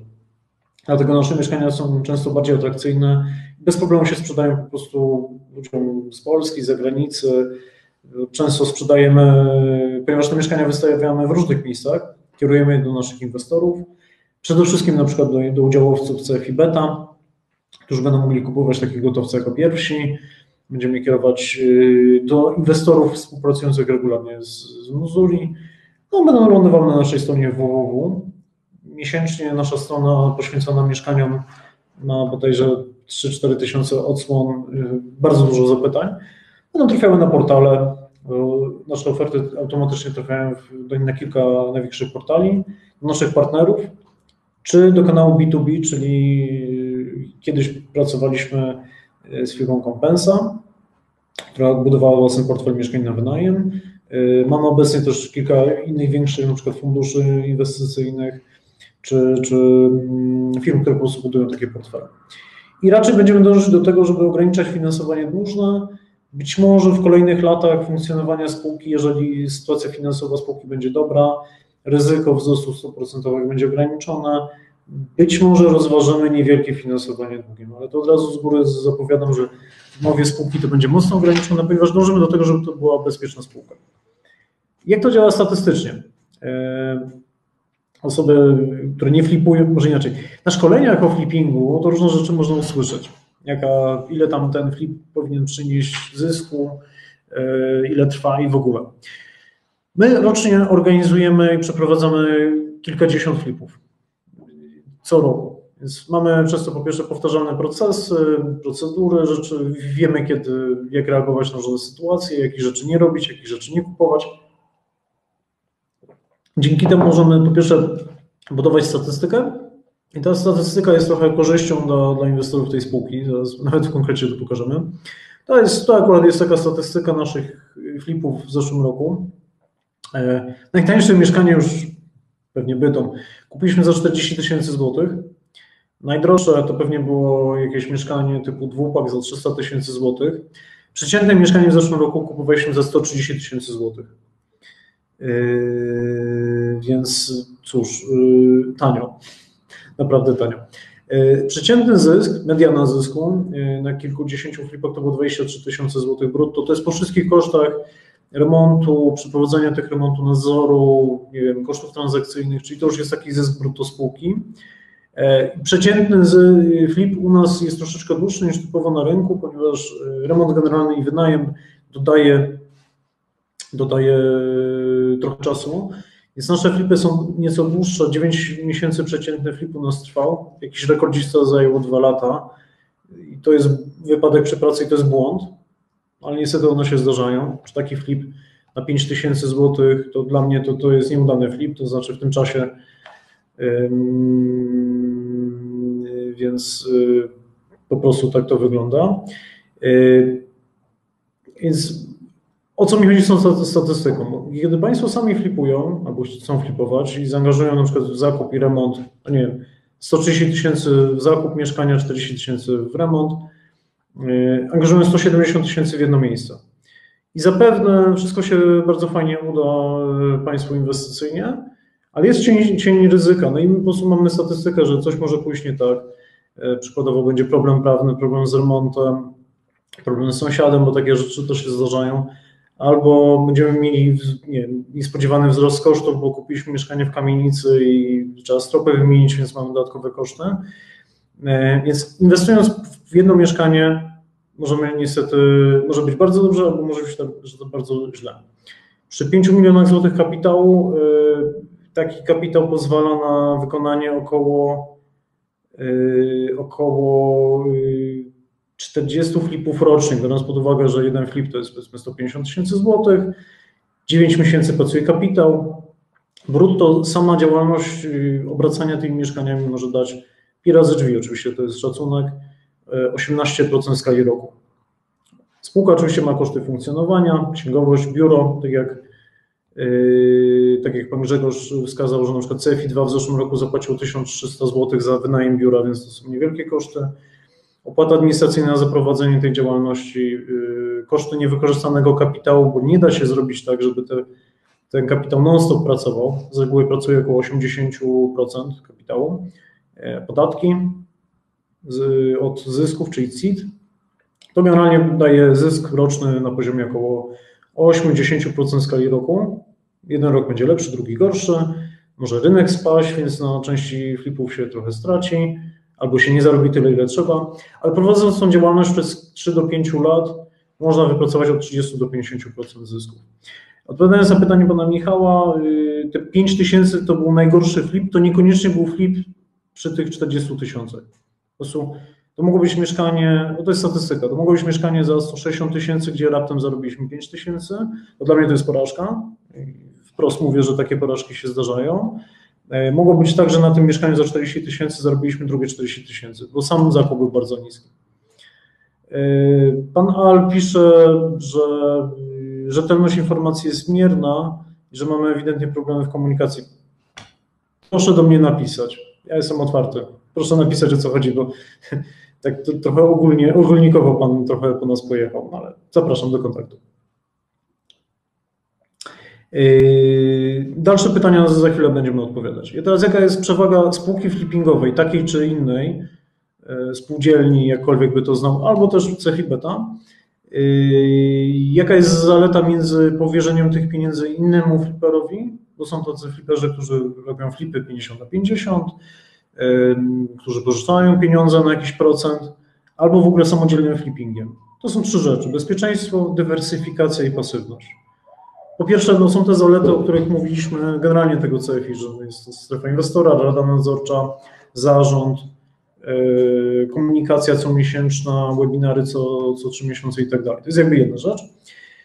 Yy, jest infrastruktura, to znaczy 200 pracowników Muzuri, które w razie czego w różnych zakresach może być zaangażowanych. No jest nam łatwiej po prostu pewne rzeczy prowadzić. Jest marka Muzuri, która daje nam to, że przychodzą do nas ciekawe tematy inwestycyjne.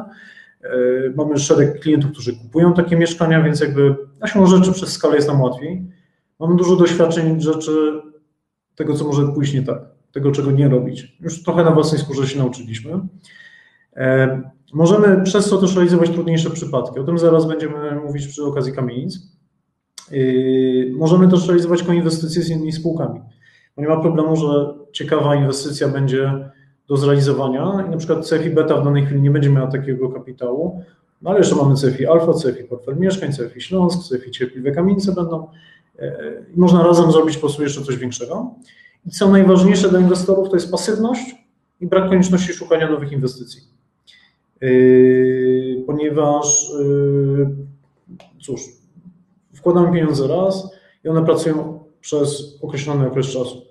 Tu pada kilka pytań, jak długo będzie działała ta, ta spółka, yy, więc zaraz o tym też sobie powiemy, jakie są zamierzenia. I to jest też pytanie do Państwa w ramach ankiety, na ile Państwo też by chcieli. O tym zaraz. Jeżeli Państwo samodzielnie będą flipowali, no cóż, flipping naprawdę może dawać duży zysk. Pokazywałem, że u nas 50% flipów przyniosło co najmniej 23 tysiące złotych.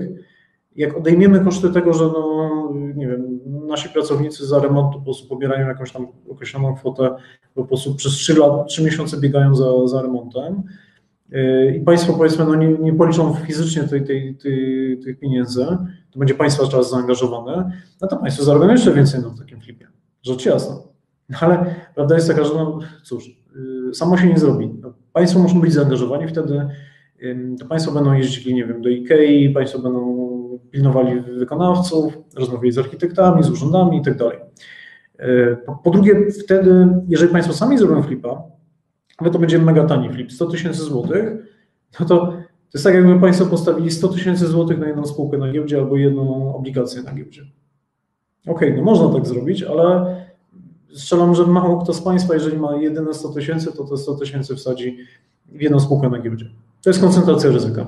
I co więcej, nawet jak Państwo skończą tego jednego fajnego flipa za 30 tysięcy, no to teraz muszą szukać kolejnego. Można to robić w międzyczasie, ale jeżeli pracujemy w korporacji, czy, czy, czy nie wiem, prowadzimy dużą firmę, no to to może być niekoniecznie dla Państwa.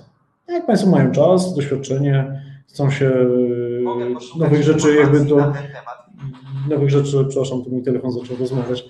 E, chcą Państwo sami się te, tego podjąć? Nie ma problemu.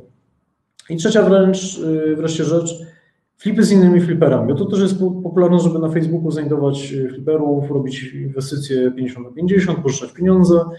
Mm, więc ten model też jest fajny, tylko jest kilka ale oczywiście. On to też nas dotyczy. Ja tu się nie, nie że tak jak to się mówi, nie, nie, nie kłamie zupełnie, y, że nas też do końca podobno sprawdzić nie można, więc mogą się Państwo tylko oprzeć na tym, że działamy od y, ponad 10 lat, no i trochę doświadczenia już mamy.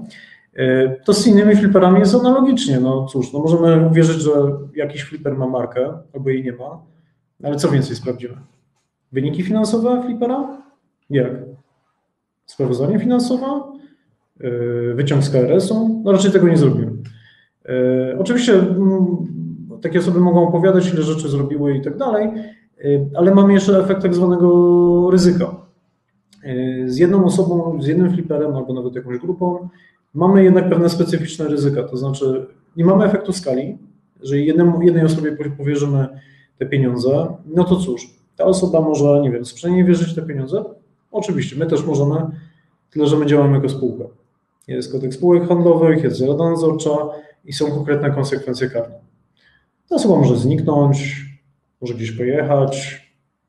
Słyszałem o takich osobach, które w Białymstoku na przykład jest taki inwestor, który pożyczał pieniądze na inwestycje i, i, i cóż, od ponad roku jest nie do znalezienia i pieniądze są nie do ściągnięcia. Są ryzyka specyficzne. A my dzięki naszej infrastrukturze możemy inwestować w tej chwili chyba w 16 e, aglomeracjach. E, z reguły jak jest flipper, który działa na Śląsku, to on działa na Śląsku. Jeżeli akurat na Śląsk z jakiegoś powodu będzie szedł w dół, albo no nie wiem, dane miasto z jakiegoś będzie miało problemy, no to my też wtedy trochę bardziej ryzykujemy. Może to być osobowość, skłonność do ryzyka większego e, wśród u takiej osoby. No, ja też mam klientów, którzy po prostu z flipperami mieli dobre doświadczenia, dużo zarabiali i nie, nie kryję, że tak to często jest, ale miałem, znam też sytuację po prostu y, albo po prostu błędów, albo kradzieży. I nasz nadzór nad jakością tych projektów i ich wynikami i myślę, że nie jest większy i nie jest lepszy niż skorzystanie z Rady Nadzorczej i, i strefy inwestora. I nadal nie zwalnia nas to z jakiejś konieczności ciągłego poszukiwania okazji inwestycyjnych. I co do zasady, to jest tak, jeden może stwierdzić, że te 8-10 mniej więcej procent w skali roku to jest mało w stosunku do flippingu samodzielnego, no ale to rekompensuje pewne ryzyka i niedogodności flippingu. To już zależy. Jeżeli ktoś ma czas, doświadczenie, chce y, trochę się sprawdzić albo powierzyć pojedynczej osobie takie pieniądze, jak najbardziej można. Zwroty oczekiwane mogą być wyższe. Ryzyko, że coś pójdzie nie tak, niestety też jest wyższe. Beta działa po prostu statystycznie. Profil ryzyka jednego flipa jest pewnie taki, że szanse na wielkie zyski są wyższe niż w CFI beta będą. Szanse, że stracimy, niestety też będą znacznie większe. Mogą być sytuacje, że po prostu będziemy na minusie. Jak powierzymy te pieniądze jakiemuś fliperowi na cztery flipy, no to cóż, te ryzyka będą trochę bardziej zarządzone. No ale przy 100 flipach, które zrobimy powiedzmy w ciągu trzech lat yy, w ramach CFI beta, pewnie szanse na duże straty będą praktycznie nikłe. Szanse na bardzo duże zyski z pojedynczych mieszkań pewnie też nie, ale te 10% zrobimy. Ale tutaj się pojawia druga rzecz, możliwość robienia y, bardziej skomplikowanych rzeczy. Mianowicie mm, poza flippingiem y, my jako Grupa Mozuri i nasze spółki też prowadzą flipping tak zwanych łatwych kamienic. Najmniej łatwa kamienica, w odróżnieniu od trudnych, które będą za chwilę, to jest kamienica, która jest w miarę dobrym stanie technicznym, to znaczy nie musimy na przykład wymienić wszystkich stropów, nie musimy wymienić dachu, nie musimy, nie wiem, robić rzeczy, które wymagają tak naprawdę opróżnienia mieszkań na rok, uzyskania pozwolenia na budowę i szeregu innych rzeczy. Po drugie, łatwa kamienica to na przykład kamienica, gdzie są już najemcy komercyjni, gdzie można im aneksować umowy, można wypowiedzieć te umowy, można po prostu trochę pozmieniać, podnieść czynsze. Jest większa elastyczność działania i ten, to działanie jest krótkie. I można w miarę szybko wydzielić prawnie lokale mieszkalne. I to są, dla mnie to jest łatwa kamienica. Przykład jest tutaj po lewej, to jest kamienica na ulicy Mariackiej, tą kamienicę jako Mozuli w ogóle nabyliśmy. Y, to jest kamienica, ona była za 2 miliony z groszami w Sosnowcu, 40 mieszkań, czyli cena za metr jakieś 2 miliony z groszami, cena za mieszkanie około 50 tysięcy złotych w zakupie, mniej więcej. I teraz taki budynek jest z reguły poza zasięgiem większości inwestorów na rynku. Dlaczego? Bo to jednak jest 2,5 miliona. Duży budynek, 40 mieszkań, 40 różnymi najemcami, lepszymi i gorszymi. Większość osób po prostu się na to nie porwie. My takie rzeczy możemy robić na, wręcz na co dzień. Albo wręcz mamy tych projektów kilkanaście w trakcie różnych etapów realizacji. To jest przykład kamienicy, którą na przykład mamy w Gliwicach. Analogiczna sytuacja, bardzo łatwy case. Kupujemy budynek, e, puste lokale remontujemy, problematycznych najemców wyprowadzamy, bo to są umowy terminowe, to oni sami po prostu momentalnie się wyprowadzają. Ci najemcy, którzy chcą mieszkać i chcą się przenieść przykład do fajniejszych mieszkań, po prostu ich rotujemy. I mniej więcej w ciągu pół roku do nie wiem, 9 miesięcy praktycznie cały budynek mamy wy, wyremontowany, jeżeli chodzi o mieszkania i praktycznie możemy od razu sprzedawać mieszkania. Czy przykład budynków w Krakowie, to jest budynek, gdzie kupiliśmy 12 mieszkań, cały budynek był gotowy, jedyne co trzeba było po prostu wyremontować mieszkania w środku, wykończyć mieszkania w środku i wynająć i sprzedać. Więc takie budynki pozwalają na bardzo szybkie obrócenie kapitałem. A jednocześnie sprzedaż mieszkań z tej, tej kamienicy na przykład, to one były sprzedawane poniżej 100 tysięcy złotych w stanie do remontu, więc to były atrakcyjne mieszkania. Więc w skrócie przewidujemy, że tą strategią y, przy różnych plusach, minusach, problemach, y, potem na szczegółowe pytania będę odpowiadał, y, około 30 do 50% zwrotu ta spółka powinna wypracować. Mniej więcej to powinno być 8-10% w skali roku. Jak będziemy formalnie uruchamiać mm, zbiórkę kapitału do spółki, to będziemy konkretne wartości komunikować jako prognozę, jakby z zasięgiem ryzyka. Y, natomiast za, za założenie to jest co najmniej 3 lata. Y, w spółce CFI Alpha mamy taki model, że tam okres zaangażowania to jest 5 lat, i po pięciu latach inwestorzy mogą podjąć decyzję, czy chcą zostać w spółce, czyli spółka na przykład ma ponowić ten okres inwestowania na przykład przez kolejne dwa lata, czy też spółka ma po prostu kupić mieszkania na wynajem i po prostu przejść w model rentierski, czy też po prostu spółka ma spłacić inwestorów i tyle. W tej spółce ja jeszcze nie mam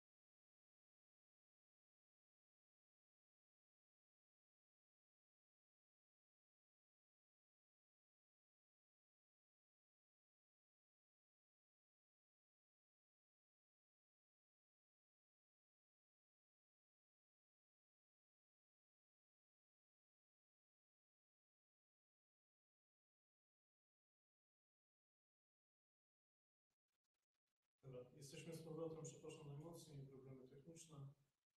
E, czy wróciliśmy na wizję?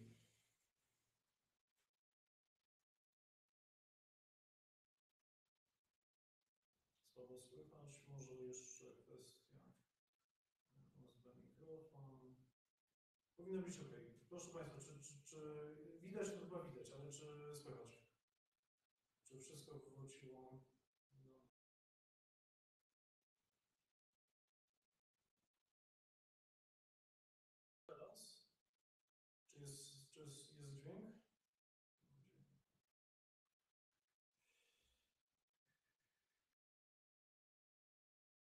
A teraz, czy teraz mnie słychać na drugim mikrofonie?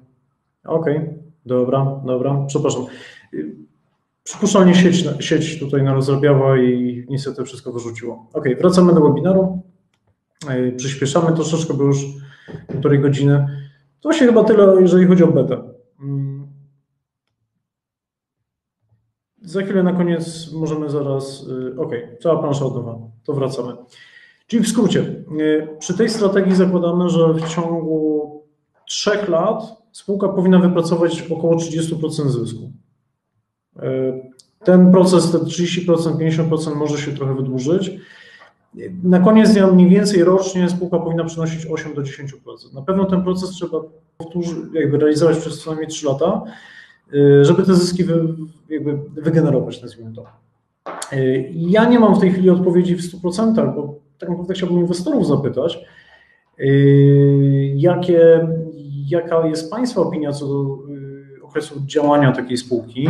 Bo w CFI Alpha na przykład to działało tak, że przez 5 lat spółka realizuje proces inwestycyjny, po 5 latach inwestorzy głosują między tym, żeby kontynuować flipping lub zainwestować tylko w mieszkania już rentierskie lub wypłacić zyski. Tutaj założeniem na pewno będzie to, że będziemy reinwestować zyski, czyli przez pierwsze 3 lata y, te zyski nie będą wypłacane, one będą reinwestowane, będzie działał procent składany. A to jest podstawa wszystkich dobrych funduszy private equity, czy Warrena Buffetta nawet, że po prostu dywidenda jest niewypłacana, ona jest reinwestowana, co przyspiesza tego wzrost. Na koniec y, tego webinaru i też Państwo otrzymają y, mailem zaproszenia do ankiety. Tak naprawdę będziemy Państwa pytać, czy Państwo preferowaliby model OK 5 lat, 50% dopiero decyzja, czy raczej model 3 lata, i po trzech latach na przykład ścieżka reinwestujemy dalej albo przechodzimy w model rentierski, ale ja szczerze powiedziawszy jestem raczej za modelem takim, że spółka powinna działać non-stop, po wsze czasy, inwestorzy co najwyżej sprzedają swoje udziały innym inwestorom, a co roku wartość udziałów jest po prostu e, wyceniana na nowo. Bo na przykład w ciągu roku spółka wypracowała 10% zysków, więc nowe udziały są sprzedawane po jakiejś konkretnej wartości. To czekamy na Państwa opinię w ramach y, w ramach ankiety. Moje, moje zdanie 5 lat, 50%, dopiero wtedy albo zamknięcie spółki, wypłata zysków, albo dalsza inwestycja. CEFI Cierpliwe Kamienice. Jest spółka, która jeszcze nie ma nazwy takiej w pełni formalnej, ale na razie nie wymyśliliśmy żadnej lepszej nazwy i tutaj w ramach ankiety mogą Państwo yy, mogą Państwo może nawet nam coś podpowiedzieć, ale wydaje mi się, że ta nazwa najlepiej odpowiada, o czym w ogóle jest ta spółka. CEFI Cierpliwe Kamienice to jest spółka łącznego wzrostu, czyli ona nie będzie wypłacać dywidendy co roku, czy nie będzie tam jakiś ultra w trakcie powiedzmy mega zysków, ponieważ inwestycje, które prowadzi ta spółka, one są długoterminowe. I y, ta spółka będzie jakby czerpała na naszych doświadczeniach z CFI Łódź oraz CFI Śląsk, gdzie widzimy, że część budynków można prowadzić taką strategią i one pasują bardziej do takich cierpliwych rozwiązań, a część budynków lepiej działa w modelu rentierskim i wypłaca zyski po prostu na bieżąco. I teraz, czym się różni ta spółka? No brzmi to troszeczkę jak ten flipping mieszkań, ale czym ona się różni od bety? Różni się ona tym, że w przeciwieństwie do CFI beta, gdzie często powtarzamy flipping mieszkań, czasem dużych kamienic, to CFI cierpliwe kamienice, jak nazwa wskazuje, będzie inwestować w trudne kamienice, które wymagają naprawdę dużo cierpliwości, żeby dodać im wartości. Teraz opowiem, jak wygląda taki proces na przykładzie kamienic Cefi Łódź akurat. Natomiast przez to, że, że jest wymagany ten czas i te problemy są tak duże, zyski dla inwestora też są wysokie. Zaraz, zaraz na konkretach opowiem. Ta spółka mniej więcej, jeżeli część z Państwa jest z branży finansowej i wiedzą Państwo, jak działa private equity, y, to mniej więcej tak ta spółka będzie działać. Czyli private equity to są fundusze, które tanio nabywają spółki z problemami, na przykład nie wiem, jakąś spółkę produkcyjną, yy, dystrybucyjną, detaliczną, która ma jakieś problemy, problemy finansowe, operacyjne, może potrzebuje więcej kapitału, żeby szybciej rosnąć. Wykonują restrukturyzację i rozwój spółki i po 5 do 10 lat sprzedają ją z wielokrotnym zyskiem. Dwa razy pieniądze, trzy razy pieniądze i tak dalej. Cierpliwe kamienice mają naśladować ten model, robiąc to, co tak naprawdę my też widzimy na rynku yy, wśród innych inwestorów. Teraz, co to jest ta trudna kamienica? Czym ona się od tej łatwej, o której wcześniej mówiłem, różni? Dla mnie, yy, dla mnie po pierwsze, i tu od razu będzie odpowiedź do pana Kazimierza. Yy, dlaczego właśnie yy, nawet w takiej sytuacji jak teraz, kiedy mamy trochę podwyższone ceny nieruchomości, takie spółki mają powodzenie. Trudna kamienica to jest taka kamienica, gdzie są na przykład najemcy z bezterminowymi umowami albo z zasądzonymi eksmisjami. Dlaczego? Bo na przykład jak mamy najemców z umowami bezterminowymi, nie możemy łatwo i szybko pożegnać tych najemców, albo zwiększyć im czynsze. No, są chronieni prawnie. No zresztą takie są ustawy i bardzo dobrze. Lub też są problemy prawne innego rodzaju. Jest 20 współwłaścicieli i teraz skupienie tych udziałów zajmuje dużo czasu, wynegocjowanie dobrych warunków zajmuje dużo czasu. A może trzeba jakiś kawałek działki wykupić od miasta, a może jest jakieś okno u sąsiada, które blokuje nam wybudowanie na działce nowego budynku. Mm, a może po prostu stan techniczny jest przeciętny i, i trzeba ileś tam czasu, żeby nie wiem, systematycznie wyremontować klatki, potem wiem, poszczególne mieszkania, potem podwórko, potem coś jeszcze innego. Może nie ma infrastruktury w takim budynku, na przykład yy, ogrzewania, instalacje elektryczne są stare, a może jest po prostu potencjał wzrostu wartości, czyli na przykład uzyskanie warunków zabudowy, które dają to, że yy, na przykład można dodać dwie kondygnacje albo wykupienie mamy takie sytuacje, że jest budynek i mamy 90% wartości budynku, a pozostałe 10% to jest na przykład lokal użytkowy we froncie. I scalenie takiego budynku daje, daje po prostu dodatkowe benefity po prostu dla właściciela. Co powoduje ta trudna sytuacja kamienicy? To to, że ona jest ekstremalnie niska w stosunku do ceny rynkowej. Bo nie ma zbyt wielu chętnych, przykładowo fliperzy, niezależnie ile szkoleń przejdą, ilu ich tam się nie zrzuci, to mało kto yy, z fliperów interesuje się budynkami z najemcami z umowami bezterminowymi. Tak naprawdę takie firmy do nas przychodzą i nam oferują te budynki. Oni nie mają co z nimi zrobić, nie wiedzą jak sobie radzić z takimi najemcami. Yy, ktoś, kto chce szybko wrócić kapitałem, nie będzie czekał dwóch lat na podłączenie budynku do ciepła. To wymaga cierpliwości. A jakie są efekty, zaraz o tym powiem. Co do takich budynków są dwie strategie. Pierwsza strategia, to trochę zależy od tego, jaka jest sytuacja budynku, to jest przygotowanie budynku do sprzedaży yy, dla dewelopera albo spółki, która będzie, innej spółki CFI, która będzie dewelopowała taki budynek, yy, albo rozprzedanie go na kawałki, ale już po jakby przygotowaniu budynku. Co to znaczy przygotowanie? Czy to jest na przykład przeniesienie najemców do innych budynków, likwidacja problemów prawnych, czy na przykład pozyskanie wz na warunków zabudowy na rozbudowę budynku, przeprowadzenie jakichś procesów sądowych związanych z wykupem działki, e, no i zapewnienie tych infrastruktury, czyli rozwiązanie tych problemów. E, no ale cóż, WZ z, protestami potrafi zajmować półtora roku. Wykup działki od miasta mamy na własnej skórze przetrenowane dwa lata. E, przeniesienie najemców około dwóch do trzech lat. To są nawet gdyby zrobić to zgodnie z, powiedzmy, najgorszym wariantem, czyli wypowiedzenie umowy bezterminowej zgodnie z przepisami, to są 3 lata, plus ewentualnie może to jeszcze zająć dodatkowy czas w sądzie, a jest to w pełni legalne, po prostu zajmuje po prostu czas. Maksymalnie liczymy 5 lat, minimalnie około 3. To jest taki wariant pesymistyczny. Ale po tym czasie możemy wówczas taki budynek sprzedać już nie po wycenie zaniżonej, zaraz pokażę, co to jest zaniżona wycena, tylko po cenie rynkowej, która jest często dwukrotnie wyższa. Kamienice na przykład w Łodzi zamieszkałe są dwa razy tańsze od tych pustych. Bardzo dużo firm chce dewelopować budynki. Drugą strategią, są takie budynki, do, do których to bardziej pasuje, yy, to są budynki, które jakby nie mają potencjału do tego, żeby tam zrobić duży development, czyli dodać nowych pięter, rozbudować te budynki i tak dalej, ale one się bardzo fajnie nadają do wynajmu. Yy, I yy, to jest strategia druga, gdzie na przykład rotujemy najemcami. Co znaczy rotowanie najemców? Na przykład część najemców chce się przenieść z większego mieszkania do, do mniejszego, bo chce zmniejszyć sobie czynsz. Nawet ten najemca bezterminowy. On się przeniesie do, do mniejszego mieszkania, większe mieszkanie jest dzielone, remontowane i wynajmowane po stawkach rynkowych. Albo najemca jest bezterminowy, ale już mu się znudziło mieszkanie w, lokalu, który ma słaby standard i chce podwyższyć standard, więc on się zgadza na to, że mu wyremontujemy jakiś lokal, podzielimy, wyremontujemy i on się przenosi do już wyremontowanego lokalu, zwalnia lokal, e, który podlega teraz remontowi. I te stopniowe kroki zwiększają cash flow z budynku i usuwają ryzyka.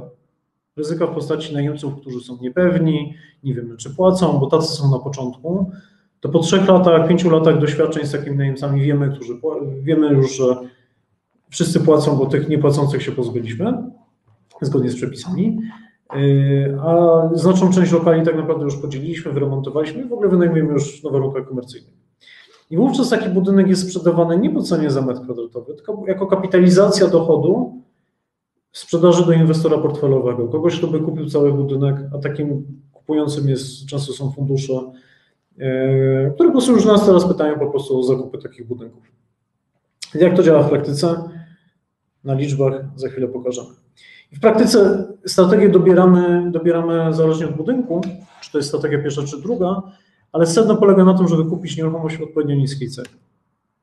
Przykład Łodzi. Y, CEFI Łódź nabyło w 2018 roku dwie kamienice w samym centrum Łodzi. Na Kinickiego 42, to jest jakieś 300 metrów chyba od y, Łodzi Fabrycznej, czyli dworca prowadzącego prosto do Warszawy w ciągu godziny. To jest też centrala M-Banku, y, kilka biurowców w tak, tak zwanym nowym centrum Łodzi, na przykład Deloitte ma tam centralę, czy właśnie biuro łódzkie, mamy Piotrkowską, ścisłe centrum Łodzi, hotele i tak dalej. Tylko obszar, który tak naprawdę podlega rewitalizacji. I po drugiej stronie Piotrkowskiej kupiliśmy Żaromskiego 17, budynek, który mm, plus, jego plusem dodatnim było to, że już był podłączony do centralnego ogrzewania, przez co był w bardzo fajnym stanie technicznym. Proszę Państwa, kupiliśmy te budynki po mniej więcej 1200 zł za metr. Dzisiaj taki budynek w takim stanie, jaki był dwa lata temu, czyli jeszcze z tą jakby niekoniecznie najlepszym sortem najemców, ale dzisiaj one są mniej więcej według Deloitte'a wyceniane, Deloitte ostatnio zrobił taki raport, na około 1500 zł. Czyli ciągle to jest cena ponad trzykrotnie niższa niż cena detaliczna mieszkań na rynku wtórnym i czterokrotnie niższa od mieszkań w, na rynku pierwotnym. Te kamienice, gdyby teleportować, gdyby ci znajomcy zniknęli w ciągu jednego dnia, to one dzisiaj są warte od 2 do 3 tysięcy złotych za metr, bo po tyle są sprzedawane kamienice puste, gotowe do remontu w centrum Łodzi. Czyli od, od razu odpowiadając na pytanie pana Kazimierza, to nie ma znaczenia, jaki jest moment rynkowy. Te budynki po prostu są tanie, bo taki jest ich stan prawny. One zawsze będą tanie. W okresie kryzysowym Cóż, pusty budynek będzie za 1000 zł, taki pełny będzie za 500 zł. Zawsze będzie przebitka mniej więcej razy dwa. E, I oczywiście można czekać na kryzys. No, proszę bardzo, no, można trzymać pieniądze też na lokacie. Ja jestem przekonany, że kupując tak tanio te budynki, nawet jeżeli jest kryzys, nawet gdyby ceny mieszkań spadły o 20%, to nawet jeżeli odejmiemy 20% od tych cen 2000, 3000, to i tak jest przebitka do przodu. To jest unikalność właśnie tej strategii. I co my robimy na przykład w Łodzi? Yy, w Łodzi proces wygląda tak, że yy, najemcy z Kińskiego 42, yy, ci, z którymi nam się dobrze współpracuje, którzy płacą, chcą mieszkać w fajnych warunkach, przenosimy ich do Żeromskiego 17, gdzie jest centralne ogrzewanie, bo to im dodaje większą wartość mieszkań. I oczywiście przenosimy ich już do wyremontowanych mieszkań. A na Kinieckiego 42 prowadzimy te, te prace takie bardziej papierologiczno-infrastrukturalne, czyli obecnie pracujemy nad WZ, warunkami zabudowy na dodanie dwóch kondygnacji, czyli zwiększenie metrażu budynku, być może zmianą przeznaczenia budynku i zapewnienie infrastruktury w postaci ogrzewania y, i pozostałych mediów.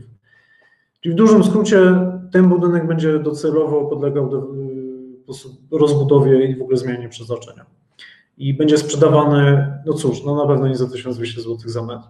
A dzisiaj, jak mówię, dzisiaj 2 do 3000 zł to są te, takie ceny. Y, na Żeromskiego 17 natomiast, ponieważ tu nie ma opcji rozbudowy, natomiast budynek już na przykład ma infrastrukturę cieplną, więc już jest, ma pewne wartości dodane. Tam oczywiście jest elektryka do zrobienia i parę innych rzeczy. Y, niemniej ten budynek bardziej jakby się dzisiaj nadaje do y, bardziej tych takich stopniowych prac remontowych. Remont klatek, zwolnione mamy mieszkanie, ok, to dzielimy je na dwie części. I tak systematycznie już kilka mieszkań uwolniliśmy od na przykład niepłacących najemców. Jeden najemca na przykład po prostu ze starości zmarł, więc mieszkanie stało się wolne. E, nie wiem, jedna pani się wyprowadziła do Irlandii. Posłużycie. Te, te, te mieszkania podlegają rotacji. I jak się mieszkanie nam zwalnia, no to wtedy, jeżeli to jest mieszkanie, gdzie możemy kogoś przenieść, to przenosimy z większego do mniejszego na przykład. A jak mieszkanie już jest fajne do podziału, to po prostu je dzielimy. Różnica jest taka, że na przykład mieszkanie, najemca bezterminowy za mieszkanie 50 metrów płaci 500 zł. Jak zwolnimy to mieszkanie, podzielimy je na dwie kawalerki i wynajmiemy rynkowo, to zarabiamy zamiast 500 zł 2000 zł. rośnie co najmniej 3, 4, 5-krotnie czynsz najmu z takich mieszkań, budynków. Jak to działa na liczbach? Przykład strategii pierwszej dla, dla Kilińskiego. Y, tam jest mniej więcej 2000 metrów, to są przybliżone liczby dla Państwa. Y, kupiona za mniej więcej 1200 zł, 2,4 miliona złotych. To mniej więcej koszt zakupu. I powiedzmy, że rocznie Kilińskiego nam przynosi paręnaście tysięcy złotych. Yy, powiedzmy, że systematycznie opróżniając y, budynek, jak się będą wyprowadzali najemcy, to te przychody będą spadały. Na koszty utrzymania budynku mniej więcej będą stałe, a co więcej będziemy wydawać pieniądze na warunki zabudowy, przyłącze ciepła, przyłącze y, prądu, rzeczy niezbędne do procesu deweloperskiego. Ale pusty budynek za 5 lat nawet jeżeli te ceny rynkowe trochę spadną, to i tak pusty budynek będziemy w stanie sprzedać na przykład za 2,5 tysiąca złotych, bo będziemy mieli warunki na zmianę przeznaczenia tego budynku istniejącego. Czyli na przykład, jeżeli byśmy sprzedawali to dzisiaj, to byłoby 2,5 tysiąca złotych za 2000 metrów. To jest około 5 milionów złotych yy, przychodu.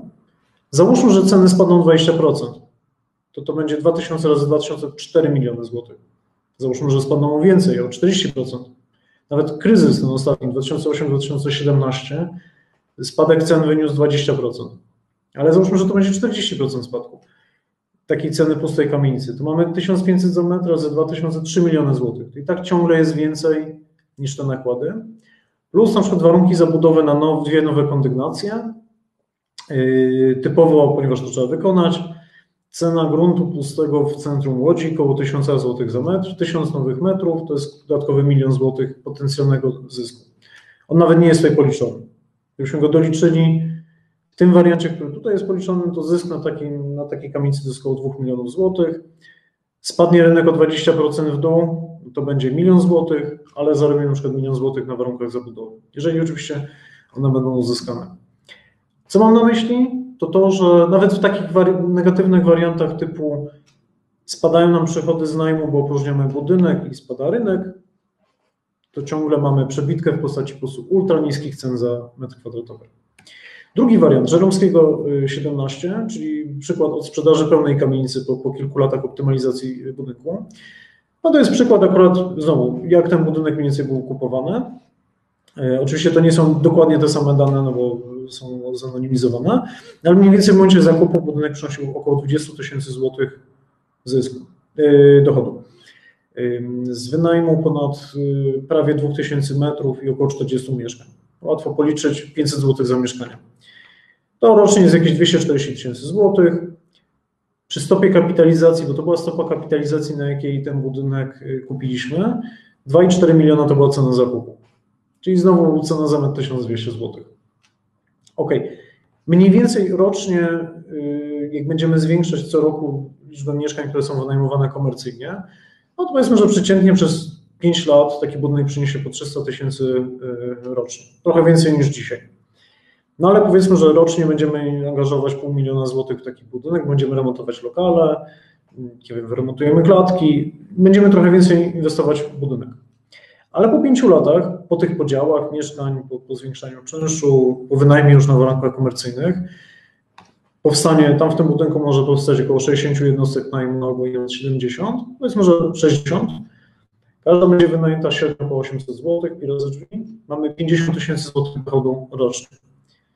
Czyli miesięcznie, a 600 tysięcy rocznie. Gdybyśmy odsprzedali budynek na tej samej stopie kapitalizacji, stopa zwrotu 10%, że ktoś z Państwa ma budynek za 10% zwrotu, to kupuje ręki, to on będzie wart około 6 milionów złotych.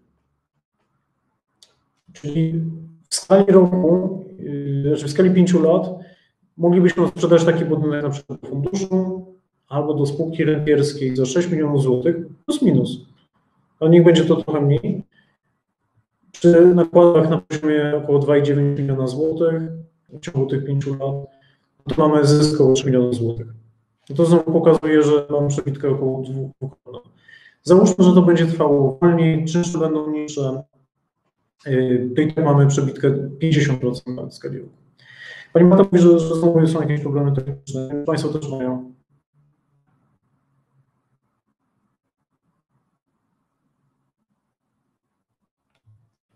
Dobra. Proszę Państwa, muszę przełączyć na inny internet. Moment.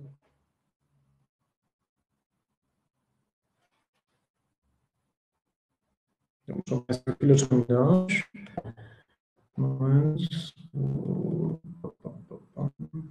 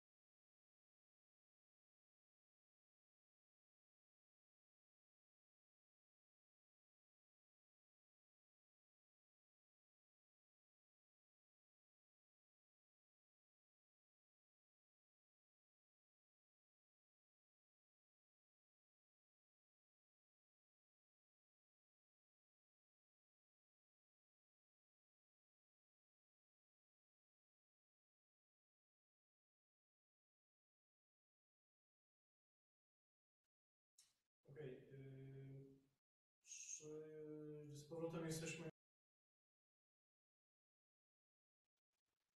Już musieliśmy przejść na inne, inne łącze internetowe. Czy nie słychać? Mam nadzieję, że tak.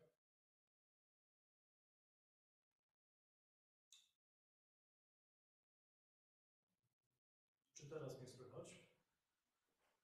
Na tym mikrofonie? Halo, halo?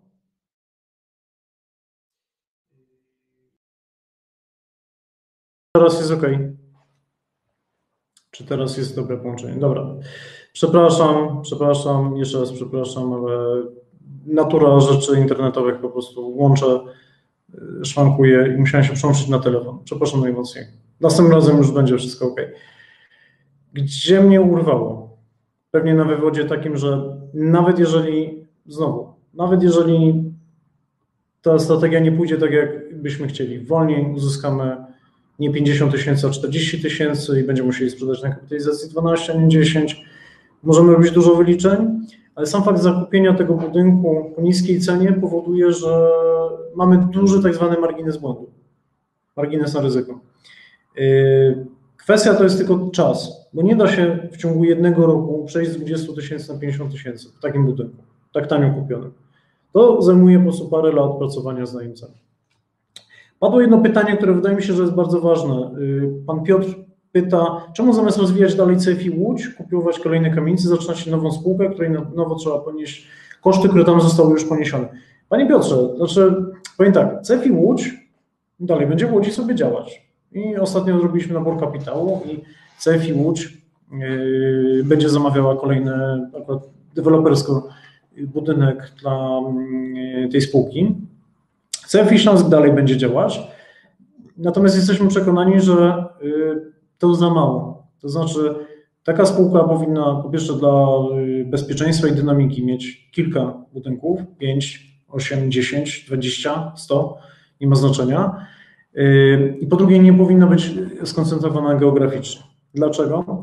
Bo klienci, którzy do mnie przychodzą, czyli na przykład fundusz reprezentujący, asset manager reprezentujący niemiecki fundusz emerytalny, no on szuka portfela w różnych miastach, kilkudziesięciu budynków, które mają kilkaset mieszkań i to jest zdywersyfikowany portfel. To jedna łódź wiosny nie czyni, że tak powiem. I lepiej dla perspektyw tej spółki jest zaangażować się w różne projekty w różnych miastach. I ta spółka będzie też oczywiście inwestowała na Śląsku i też w Łodzi. Kamienic jest tam tyle, że się wszystkie spółki pomieszczą, ale będzie też inwestować w Białymstoku, w Bydgoszczy, yy, w Lublinie, gdziekolwiek, gdzie takie budynki są. To jest, to jest jedna rzecz. Druga rzecz jest taka, że tutaj, o ile w Łodzi początku zakładania tych spółek dwa lata temu chcieliśmy, żeby te spółki też wypłacały dywidendę, no i po to też robimy tam projekty takie bardziej flippingowe.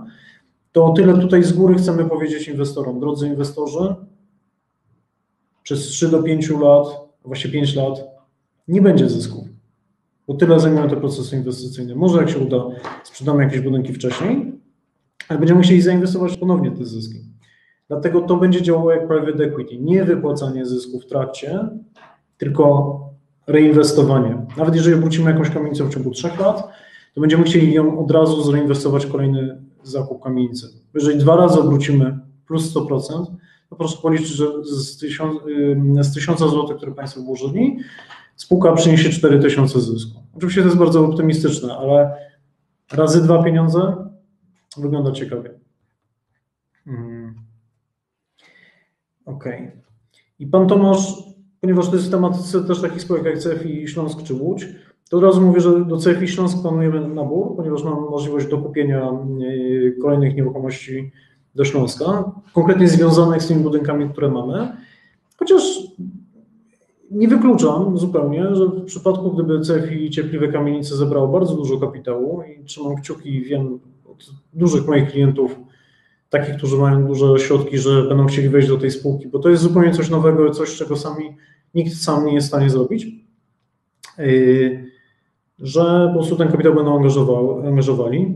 I paradoksalnie mogło być jakimś rozwiązaniem dla inwestorów yy, w CFI Śląsk czy Łódź, nawet odsprzedać zyskiem już te kamienice, albo przejść do nowej, większej spółki. To jest też oczywiście możliwe. Na razie to jest raczej pieśń przyszłości. Na razie chcemy tę spółkę stworzyć i uruchomić po prostu zakup kilku, mam nadzieję, może kilkunastu budynków na raz. Y, pan Piotr pyta, czy ta spółka będzie działała dalej działalność, dalej kontynuowała działalność. No moim celem jest to, żeby ten fundusz przy, po pięciu latach tak naprawdę, y, w zależności od tego, gdzie będzie, albo zakończył działalność, wypłacił na przykład pieniądze razy dwa, razy trzy, ale jednocześnie równolegle uruchomimy kolejny większy fundusz, gdzie inwestorzy będą mogli od razu przełożyć te pieniądze dalej. Oczywiście to jest decyzja inwestorów po pięciu latach i w ramach konstrukcji spółki stworzymy jakby takie okno decyzyjne, natomiast nie nastąpi to wcześniej niż po pięciu latach. Mm, jest to, to, jest, to jest taka informacja. Yy, pytanie. Pan Paweł pyta, czy będziemy mieli coś ciekawego na sprzedaż w Łodzi. Panie Pawle, mamy. Nie z CFI Łódź, ponieważ yy, wbrew temu, co wcześniej planowaliśmy, okazuje się, że większa wartość jest w utrzymaniu tych budynków w całości, znaczy one są bardziej cenione przez fundusze. CFI Łódź będzie miało natomiast ciekawe mieszkania w ciągu mniej więcej półtora roku y, w apartamentowcu na ulicy Wigury i to jest jedna, jedna z no, nowych inwestycji, którą realizujemy. E, ale w czwartek będzie się odbywał webinar dla inwestorów Missouri. Ja może wkleję też namiary do tego webinaru poświęcone inwestycji Missouri na Łogiewnickiej a tam będziemy mieli kilka, kilkanaście mieszkań, przepraszam, kilkadziesiąt mieszkań na sprzedaż w różnych cenach i od razu wklejam Państwu zaproszenie też do, na taki webinar. On będzie w czwartek, będę opowiadał właśnie o tym projekcie. Mm, Pan Marcin pyta, czy mamy na oku początkowe inwestycje, które cierpliwe kamienice zamierzają inwestować. Tak. W prezentacji jakby dotyczącej już szczegółowo tej spółki, czyli jak już formalnie zaczniemy nabór, to przedstawimy te inwestycje. Mamy w tej chwili budynek, to oczywiście jest płynne wszystko, mamy budynek w Gliwicach, Mamy budynek w Sosnowcu, mamy w Łodzi jeden, dwa budynki, mamy budynek y, w Lublinie y, z elementem jakby konwersji. Mamy budynki bodajże jeszcze w Bydgoszczy, w Kaliszu, y, Pruszków też bodajże w Rachubie, więc chcemy zacząć jakby od razu od zakupów takich nieruchomości. Co więcej, ich jest dużo. To jest też najciekawsze, ponieważ mm, dzisiaj na rynku pustych kamienic praktycznie nie ma, bo, bo deweloperzy, nawet ci średnich rozmiarów, mają problemy z działkami, więc zaczynają remontować kamienice, potrzebują pustych budynków. Więc te, te puste są w miarę już takie rozprzedane. E, pełnych budynków jest co niemiara.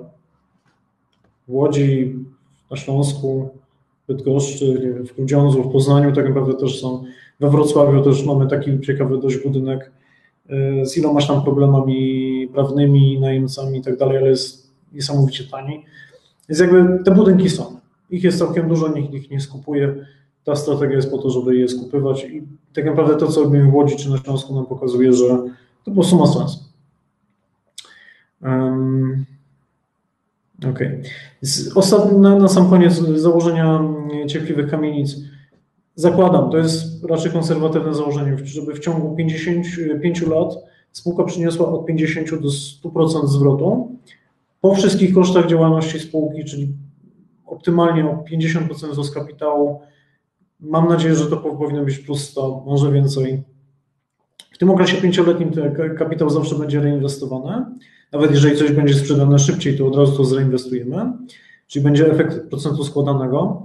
I po pięciu latach przewidujemy, że po prostu będzie okno decyzyjne. Ja najchętniej bym tę, tę spółkę widział jako znowu coś, co działa wiele lat, i chciałbym raczej stworzyć co roku takie okna wyjścia dla inwestorów poprzez odsprzedaż, wycenę udziałów i odsprzedaż. I tutaj, jeżeli chodzi o proces naborowy, marzec, kwiecień, w marcu chcemy zacząć nabór i prowadzić ten nabór w pierwszej turze do kwietnia, chociaż to też zależy od, od tego, kiedy y, uruchomimy y, cały nabór. Proszę Państwa, dobra, jest już późno, lecimy do, do, do końca y, podsumowania. Panie Sebastianie, może to jest akurat ważne pytanie. Próg wejścia do każdej takiej spółki to jest 10 tysięcy złotych. Zawsze mm, nie robimy tutaj wyjątków. Myśleliśmy o tym, żeby w cierpliwych kamienicach może dać wyższy próg, ale to jest po prostu założenie z ulicy FI. Zawsze 10 tysięcy złotych to jest ten próg wejścia. To jest to minimum. Krótkie porównanie spółek. CFI 5 strategia deweloperska, CFI beta i cierpliwe kamienice to są strategie łącznego wzrostu. CFI 5 w miarę taka przewidywalna spółka, wiadomo co robimy, kiedy to zrobimy, za ile to zrobimy, e, więc coś dla inwestora, który chce wiedzieć, czego się spodziewać.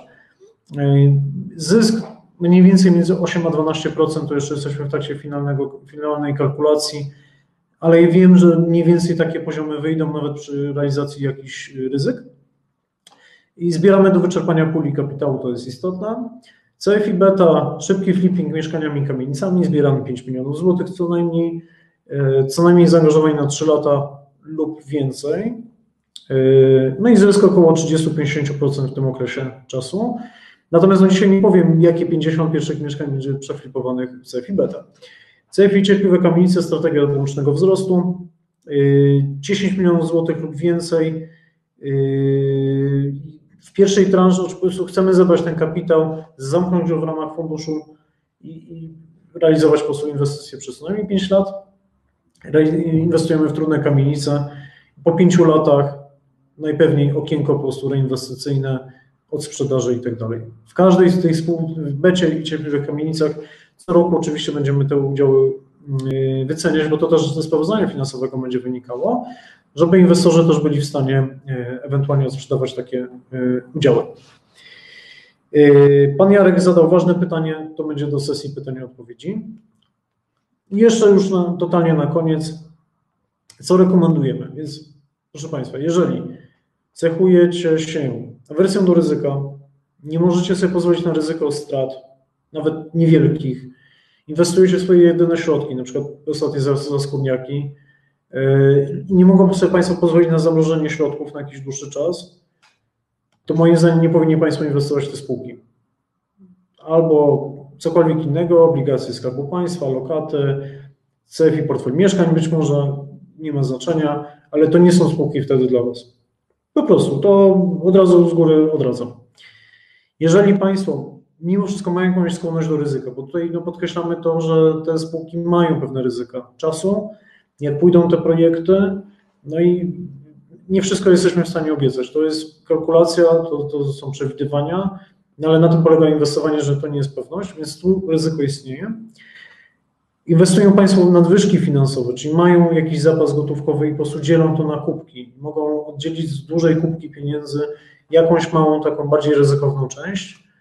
Dopuszczają Państwo ryzyko strat. Strat w sensie wartość udziałów może być przejściowo niższa, bo na przykład rynek w międzyczasie będzie mieli kryzys. I zobaczą Państwo, że ceny mieszkań na rynku spadają. Ale mimo to Państwo będą, i tak Państwo będą zainwestowani na w kamienicę, która i tak była tak tanio kupiona, że nawet jak rynek spadnie o 20%, to i tak ciągle jest do przodu.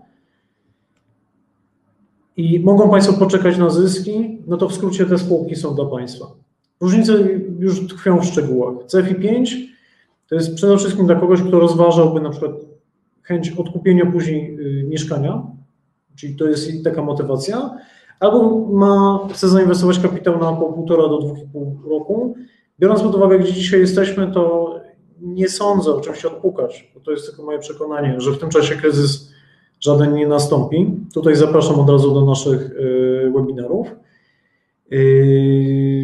Natomiast no, to jest tak na tyle krótki okres, że tutaj już trudno mm, jakby oczekiwać, że tak powiem, radykalnych zmian. Im dalej w las, tym oczywiście ryzyk jest więcej.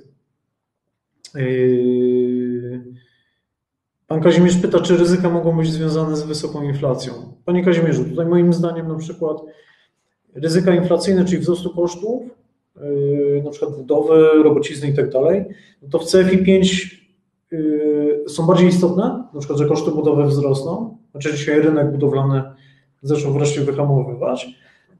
Natomiast to jest na tyle krótki okres czasu, że praktycznie zaraz ruszamy z budową, bo uzyskanie pozwolenia to jest perspektywa do, do pół roku, więc w ciągu pół roku jakby no, koszty budowy nie wzrosną o 30%. Za 5 lat dla cierpliwych kamienic, ja nie wiem za ile, ile będą koszty budowy, no może będą 50% wyższe, może 20% niższe, tego nie wiem. CFI 5 to jest w miarę łatwe do przewidzenia i to mamy już skosztorysowane i będziemy się opierać na jakichś po prostu konkretnych kosztorysach. CFI Beta to jest i cierpliwe kamienice, obie te spółki wymagają cierpliwości, Y, różnice są pewnie, czyli jakbym miał tak podsumować różnice co do finansów, one będą dość podobne. Y, różnice moim zdaniem będą takie, że w przypadku bety częściej się będą pojawiały pojedyncze mieszkania do kupna, gotowca, a w cierpliwych kamienicach to raczej fakt kupienia całego budynku za, za, za bezcen powoduje niskie ryzyko.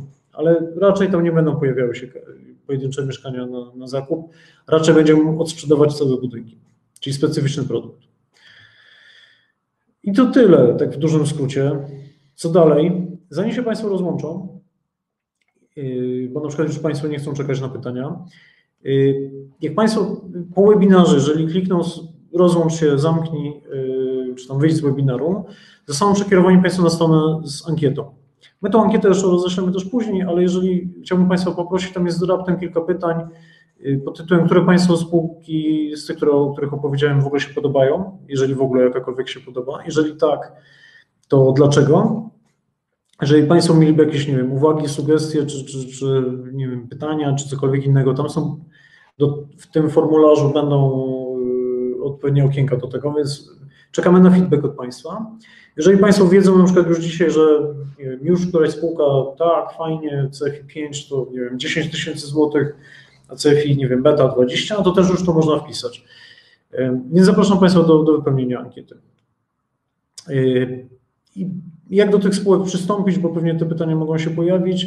Będzie ta ankieta. Roześlemy oczywiście mailowo nagranie tego webinaru i link do tej ankiety. Mogą Państwo oczywiście sobie już to spisać, jaki jest ten adres. Jeżeli Państwo chcą, będą się, się więcej dowiedzieć, to po prostu muszą Państwo oznaczyć oczywiście zgody na kontakt.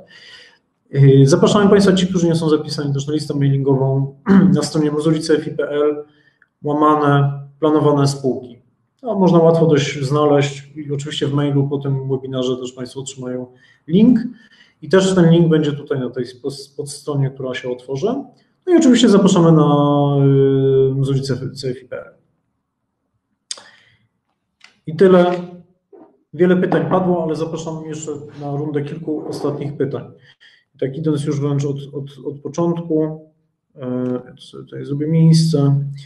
Mm, pan Jarek pyta na przykład, na czym my zarabiamy, mm, na czym my zarabiamy w tych, na spółkach CFI. No to już od razu, od razu, tak jak przy poprzednich spółkach, y, konstrukcja jest identyczna, to znaczy tak, przy tworzeniu spółki, y, przy naborze kapitału y, pobiera tak zwaną opłatę dystrybucyjną. To jest opłata taka, jak działa jak w funduszach inwestycyjnych, związana z pozyskaniem kapitału do spółek. No, to jest koszt dystrybucji kapitału, tak naprawdę w dużym skrócie. Później w trakcie funkcjonowania spółki y, co miesiąc każda spółka ponosi tak zwaną opłatę administracyjną. To są koszty tak naprawdę personelu mojego zespołu, który zajmuje się tymi spółkami.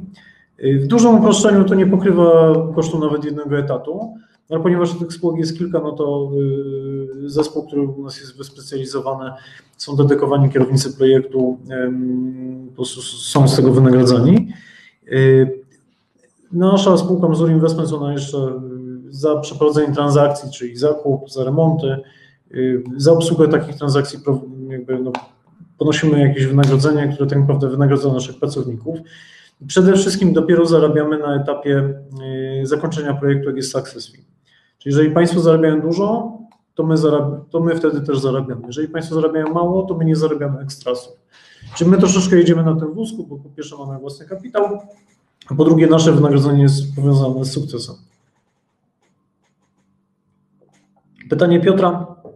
Yy, CFI, CK. Co jeśli przeliczycie się ze zdolnością rozwiązywania problemów w kopionej kamienicy i pozostanie, jej cena pozostanie niska? Z tego względu sprzedajemy zysku nie ma lub jest strata. Panie Piotrze, i tu jest bezpiecznik. Ja w sumie o nim nie, nie napisałem, nie powiedziałem, a może warto byłoby. Yy, to działa na przykład w tych kamienicach na Żeromskiego, ale też na Kinieckiego, to jest taka typowa wycena. Skąd się bierze ta, ta niska wycena za metr o tutaj. Mianowicie mm, budynki z najemcami bez, z umowami bezterminowymi, ich kluczowym ograniczeniem jest to, że szybko nie można rozwiązać umów najmu i nie można zwiększyć czynszów. Mianowicie te czynsze są y, regulowane ustawą o ochronie praw lokatorów i tak naprawdę tam są dwa elementy. Pierwszy element jest taki, że y, czynsz zależy od wartości odtworzeniowej mieszkań w danym mieście. O, ten, te wartości są co pół roku podawane przez marszałka województwa na województwo i na miasto wojewódzkie. E, I co jest najważniejsze, te wartości odtworzeniowe lokali, one są uzależnione od kosztów budowy nowych lokali i od gruntów. Czyli co do zasady one rosną razem z inflacją. Przykładowo jak kupowaliśmy te budynki, to e, stawki odtworzeniowe powodowały, że najemcy płacili około 9 zł za metr kwadratowy. Dzisiaj płacą 10,5 zł za metr kwadratowy. Czyli to jest wzrost, tak, pi razy drzwi o jakieś 15-17% w ciągu dwóch lat. E, I co jest fajne? Tego nie da się po prostu w żadnym sądzie. Podwyżka czynszu co pół roku, zgodnie ze stawkami odtworzeniowymi, po prostu tego, to nie jest do oprotestowania. Znaczy najemca to musi płacić, albo no niestety kończymy w sądzie i się żegnamy z takim najemcą. Więc to jest taki, można powiedzieć, bezpiecznik tego, że ta cena podstawowa będzie rosła w czasie. Druga rzecz jest taka, że po to rezerwujemy sobie te, te, te prawo pięciu lat, bo tak dużo niespodzianek się może pojawiać na tych budynkach, że, znaczy może inaczej. Ja jestem przekonany, że to można zrobić szybciej. I będę dążył do tego, żeby takie budynki już po dwóch, trzech latach były gotowe do sprzedaży. Czy ta, ta, ta esencja wartości była wyciągnięta w ciągu dwóch, trzech lat, ale pesymistycznie my zakładamy, że to jest pięć. A wynika to z tego, że trzy lata trwa okres wypowiedzenia umów bezterminowych. Część najemców y, będzie bardzo uparta, więc skończymy jeszcze w sądzie przez rok i przez rok będziemy czekać na eksmisję. Pięć lat. Ale to już jest taki czas, że naprawdę nawet najbardziej opornych najemców jesteśmy w stanie, y, którzy po prostu nic nie płacą, migają się od wszelkich obowiązków, które też z ustawy wymagają, wynikają, sposób się już takich problematycznych najemców z nimi się pożegnamy. Teraz tak, pytania cierpliwe, mm, kawalerki. Mm, jakie pytania? Było pytanie o CFI Łódź, czy dalej, czemu nie chcemy rozwijać tej spółki, to już odpowiedziałem, że te spółki mogą raczej razem koegzystować, nie ma z tym problemu i raczej mogą się wspierać. E, kryzys. Pytanie pana Kazimierza, wydaje mi się, że zasadne. Znaczy, czy nie lepiej zaczekać na kryzys z nowymi spółkami? Panie Kazimierzu, no, to jest tak, co do zasady byłoby lepiej, ale ja nie wiem, kiedy będzie kryzys. Co więcej, dołek po ostatnim kryzysie nastąpił po pięciu latach, czyli dzisiaj najpewniej czeka nas co najmniej 2, 3, 4 lata jeszcze wzrostów cen. Tutaj polecam mój ostatni webinar. Yy, no to mamy dwa lata do górki, 5 lat czekania na dołku, 7 lat. Czy przez 7 lat mamy nic nie robić? Chyba nie. Żaden inwestor tak nie robi, szuka okazji. No, naszym zdaniem na przykład ciepliwe kamienice są okazją, bo te kamienice, ich cena nie ma związku w ogóle z tym, co się dzieje na rynku. Ona jest, ich cena minimalna jest regulowana regulacją, a cena maksymalna tym, ile pracy włożymy w taki y, budynek. Czyli rynek nas w ogóle nie interesuje. Flipping to znowu jest taka strategia, która powoduje, że szybko obracamy mieszkaniami. Więc jeżeli będziemy widzieli, że rynek idzie w dół, no to będziemy dostosowywać strategię w ten sposób, że będziemy wchodzić w budynki relatywnie szybkie do podziału. Bo znowu mamy efekt, kupujemy hurtowo, podzielimy to na detal i tak mamy przewagę cenową. Więc yy, dlatego też CFI beta jest raczej uszyta na mniej więcej 3 lata, żeby móc dostosować zachowanie spółki do sytuacji rynkowej. Jeżeli za 3 lata będzie widać, że ok, zaczyna się sytuacja kryzysowa, ok, finish, kończymy. Jeżeli będziemy widzieli, ok, rynek ciągle idzie dobrze, mamy dwa lata na kolejne reinwestycje, to taka decyzja w sumie przez inwestorów będzie podjęta. Więc tak, tak do tego trochę podchodzimy. Pan Leon, dziękuję. Pan Kazimierz, mm, no tak, no to, to trochę jest tak, no dokładnie. Yy, pan Michał pyta, w jakiej wysokości zainwestuje własny kapitał yy, w nowo powstające spółki. Yy, ja będę miał trochę kapitału. Dzisiaj mam kapitał w portfelu mieszkań i to jest coś, z czego ja żyję. To, jaki kapitał mam dostępny, to będę chciał w cierpliwe kamienice włożyć część i część betę. Jeszcze zobaczę, czy betę, czy w alfę, bo mam możliwość odkupienia, zresztą inni inwestorzy też mają możliwość odkupienia udziałów w CFI Alfa. Jeden z inwestorów chce sprzedać y, bodajże chyba 20, 20 udziałów y, ze zwrotem bodajże 5% w skali roku, czyli 20 udziałów po 23 tysiące złotych, tak mniej więcej. Więc jeszcze się waham, czy, czy kupię w Alfie, która już kończy działalność i może przedłużę tą działalność, czy kupię w Becie i na pewno kupię w cierpliwych kamienicach. Dlaczego nie CFI 5? Y, dlatego, że wierzę w te dwie spółki, chcę je wspierać, one są relatywnie nowe. CFI 5 zajmuje się tą spółką od dwóch lat i wiem, że tam będzie sukces. I nie muszę tam wkładać kapitału. Wiem, że w becie i w cierpliwych kamienicach y, potencjał jest większy. I szczerze, ja nie, nie muszę mieć zysków już teraz. Mogę poczekać sobie tych parę lat. Pan Leon stawia na cierpliwe kamienice. No, ale to zależy. Moim zdaniem to naprawdę zależy. Moim zdaniem na przykład ktoś, kto chce mieć regularny dochód, portfel mieszkań albo, nie wiem, obligacje, to każdy musi naprawdę moim zdaniem do, dopasować do, do, do swoich potrzeb i oczekiwań. Pan, Panie Jarku, do końca świata. Ja bym osobiście, gdybym miał już powiedzieć osobiście, gdybyśmy tak przy kawie Pan mnie zapytał, dla mnie cierpliwe kamienice to, jak chciałbym, żeby to było jak Berkshire Hathaway spółka Urana Buffetta. Oczywiście, ile, gdzie mi tam do Buffetta? To jest hen, hen daleko, nigdy nie będziemy jak Buffett, ale moja idea jest taka, że kapitał, który dzisiaj, czy tam w marcu czy w kwietniu Państwo włożą do, do cierpliwych kamienic, to za 30 lat to będzie, nie wiem, 20 razy pieniądze. No tak naprawdę tymi budynkami można się długo jeszcze zajmować. Bardzo długo. To byłaby moja idea i to jest mój wariant, y, jak chciałbym, żeby ta spółka była dalej poprowadzona. To jest moja idea. E, ci, którzy zainwestowali Buffettem w latach 60., no cóż, dzisiaj są milionerami. Tysiąc dolarów wtedy, dzisiaj to są miliony. Chciałbym, żeby to tak wyglądało. Value investment na proszę. Tak, panie, panie Lonie, no dokładnie pan mi wyjął to z ust. dokładnie. Tak to będzie działało. Szanowni Państwo, jeżeli nie ma pytań, yy, kończymy.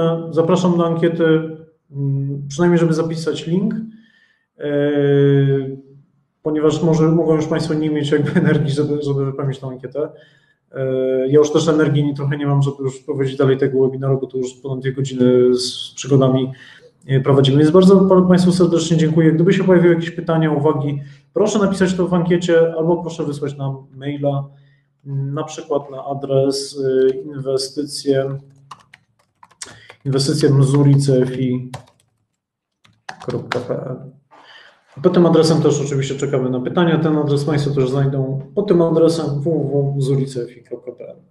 A ja z mojej strony dziękuję Państwu za, za cierpliwość i wytrzymanie ze mną ponad dwóch godzin opowiadania o nowych spółkach CFI. Dzięki i dobranoc.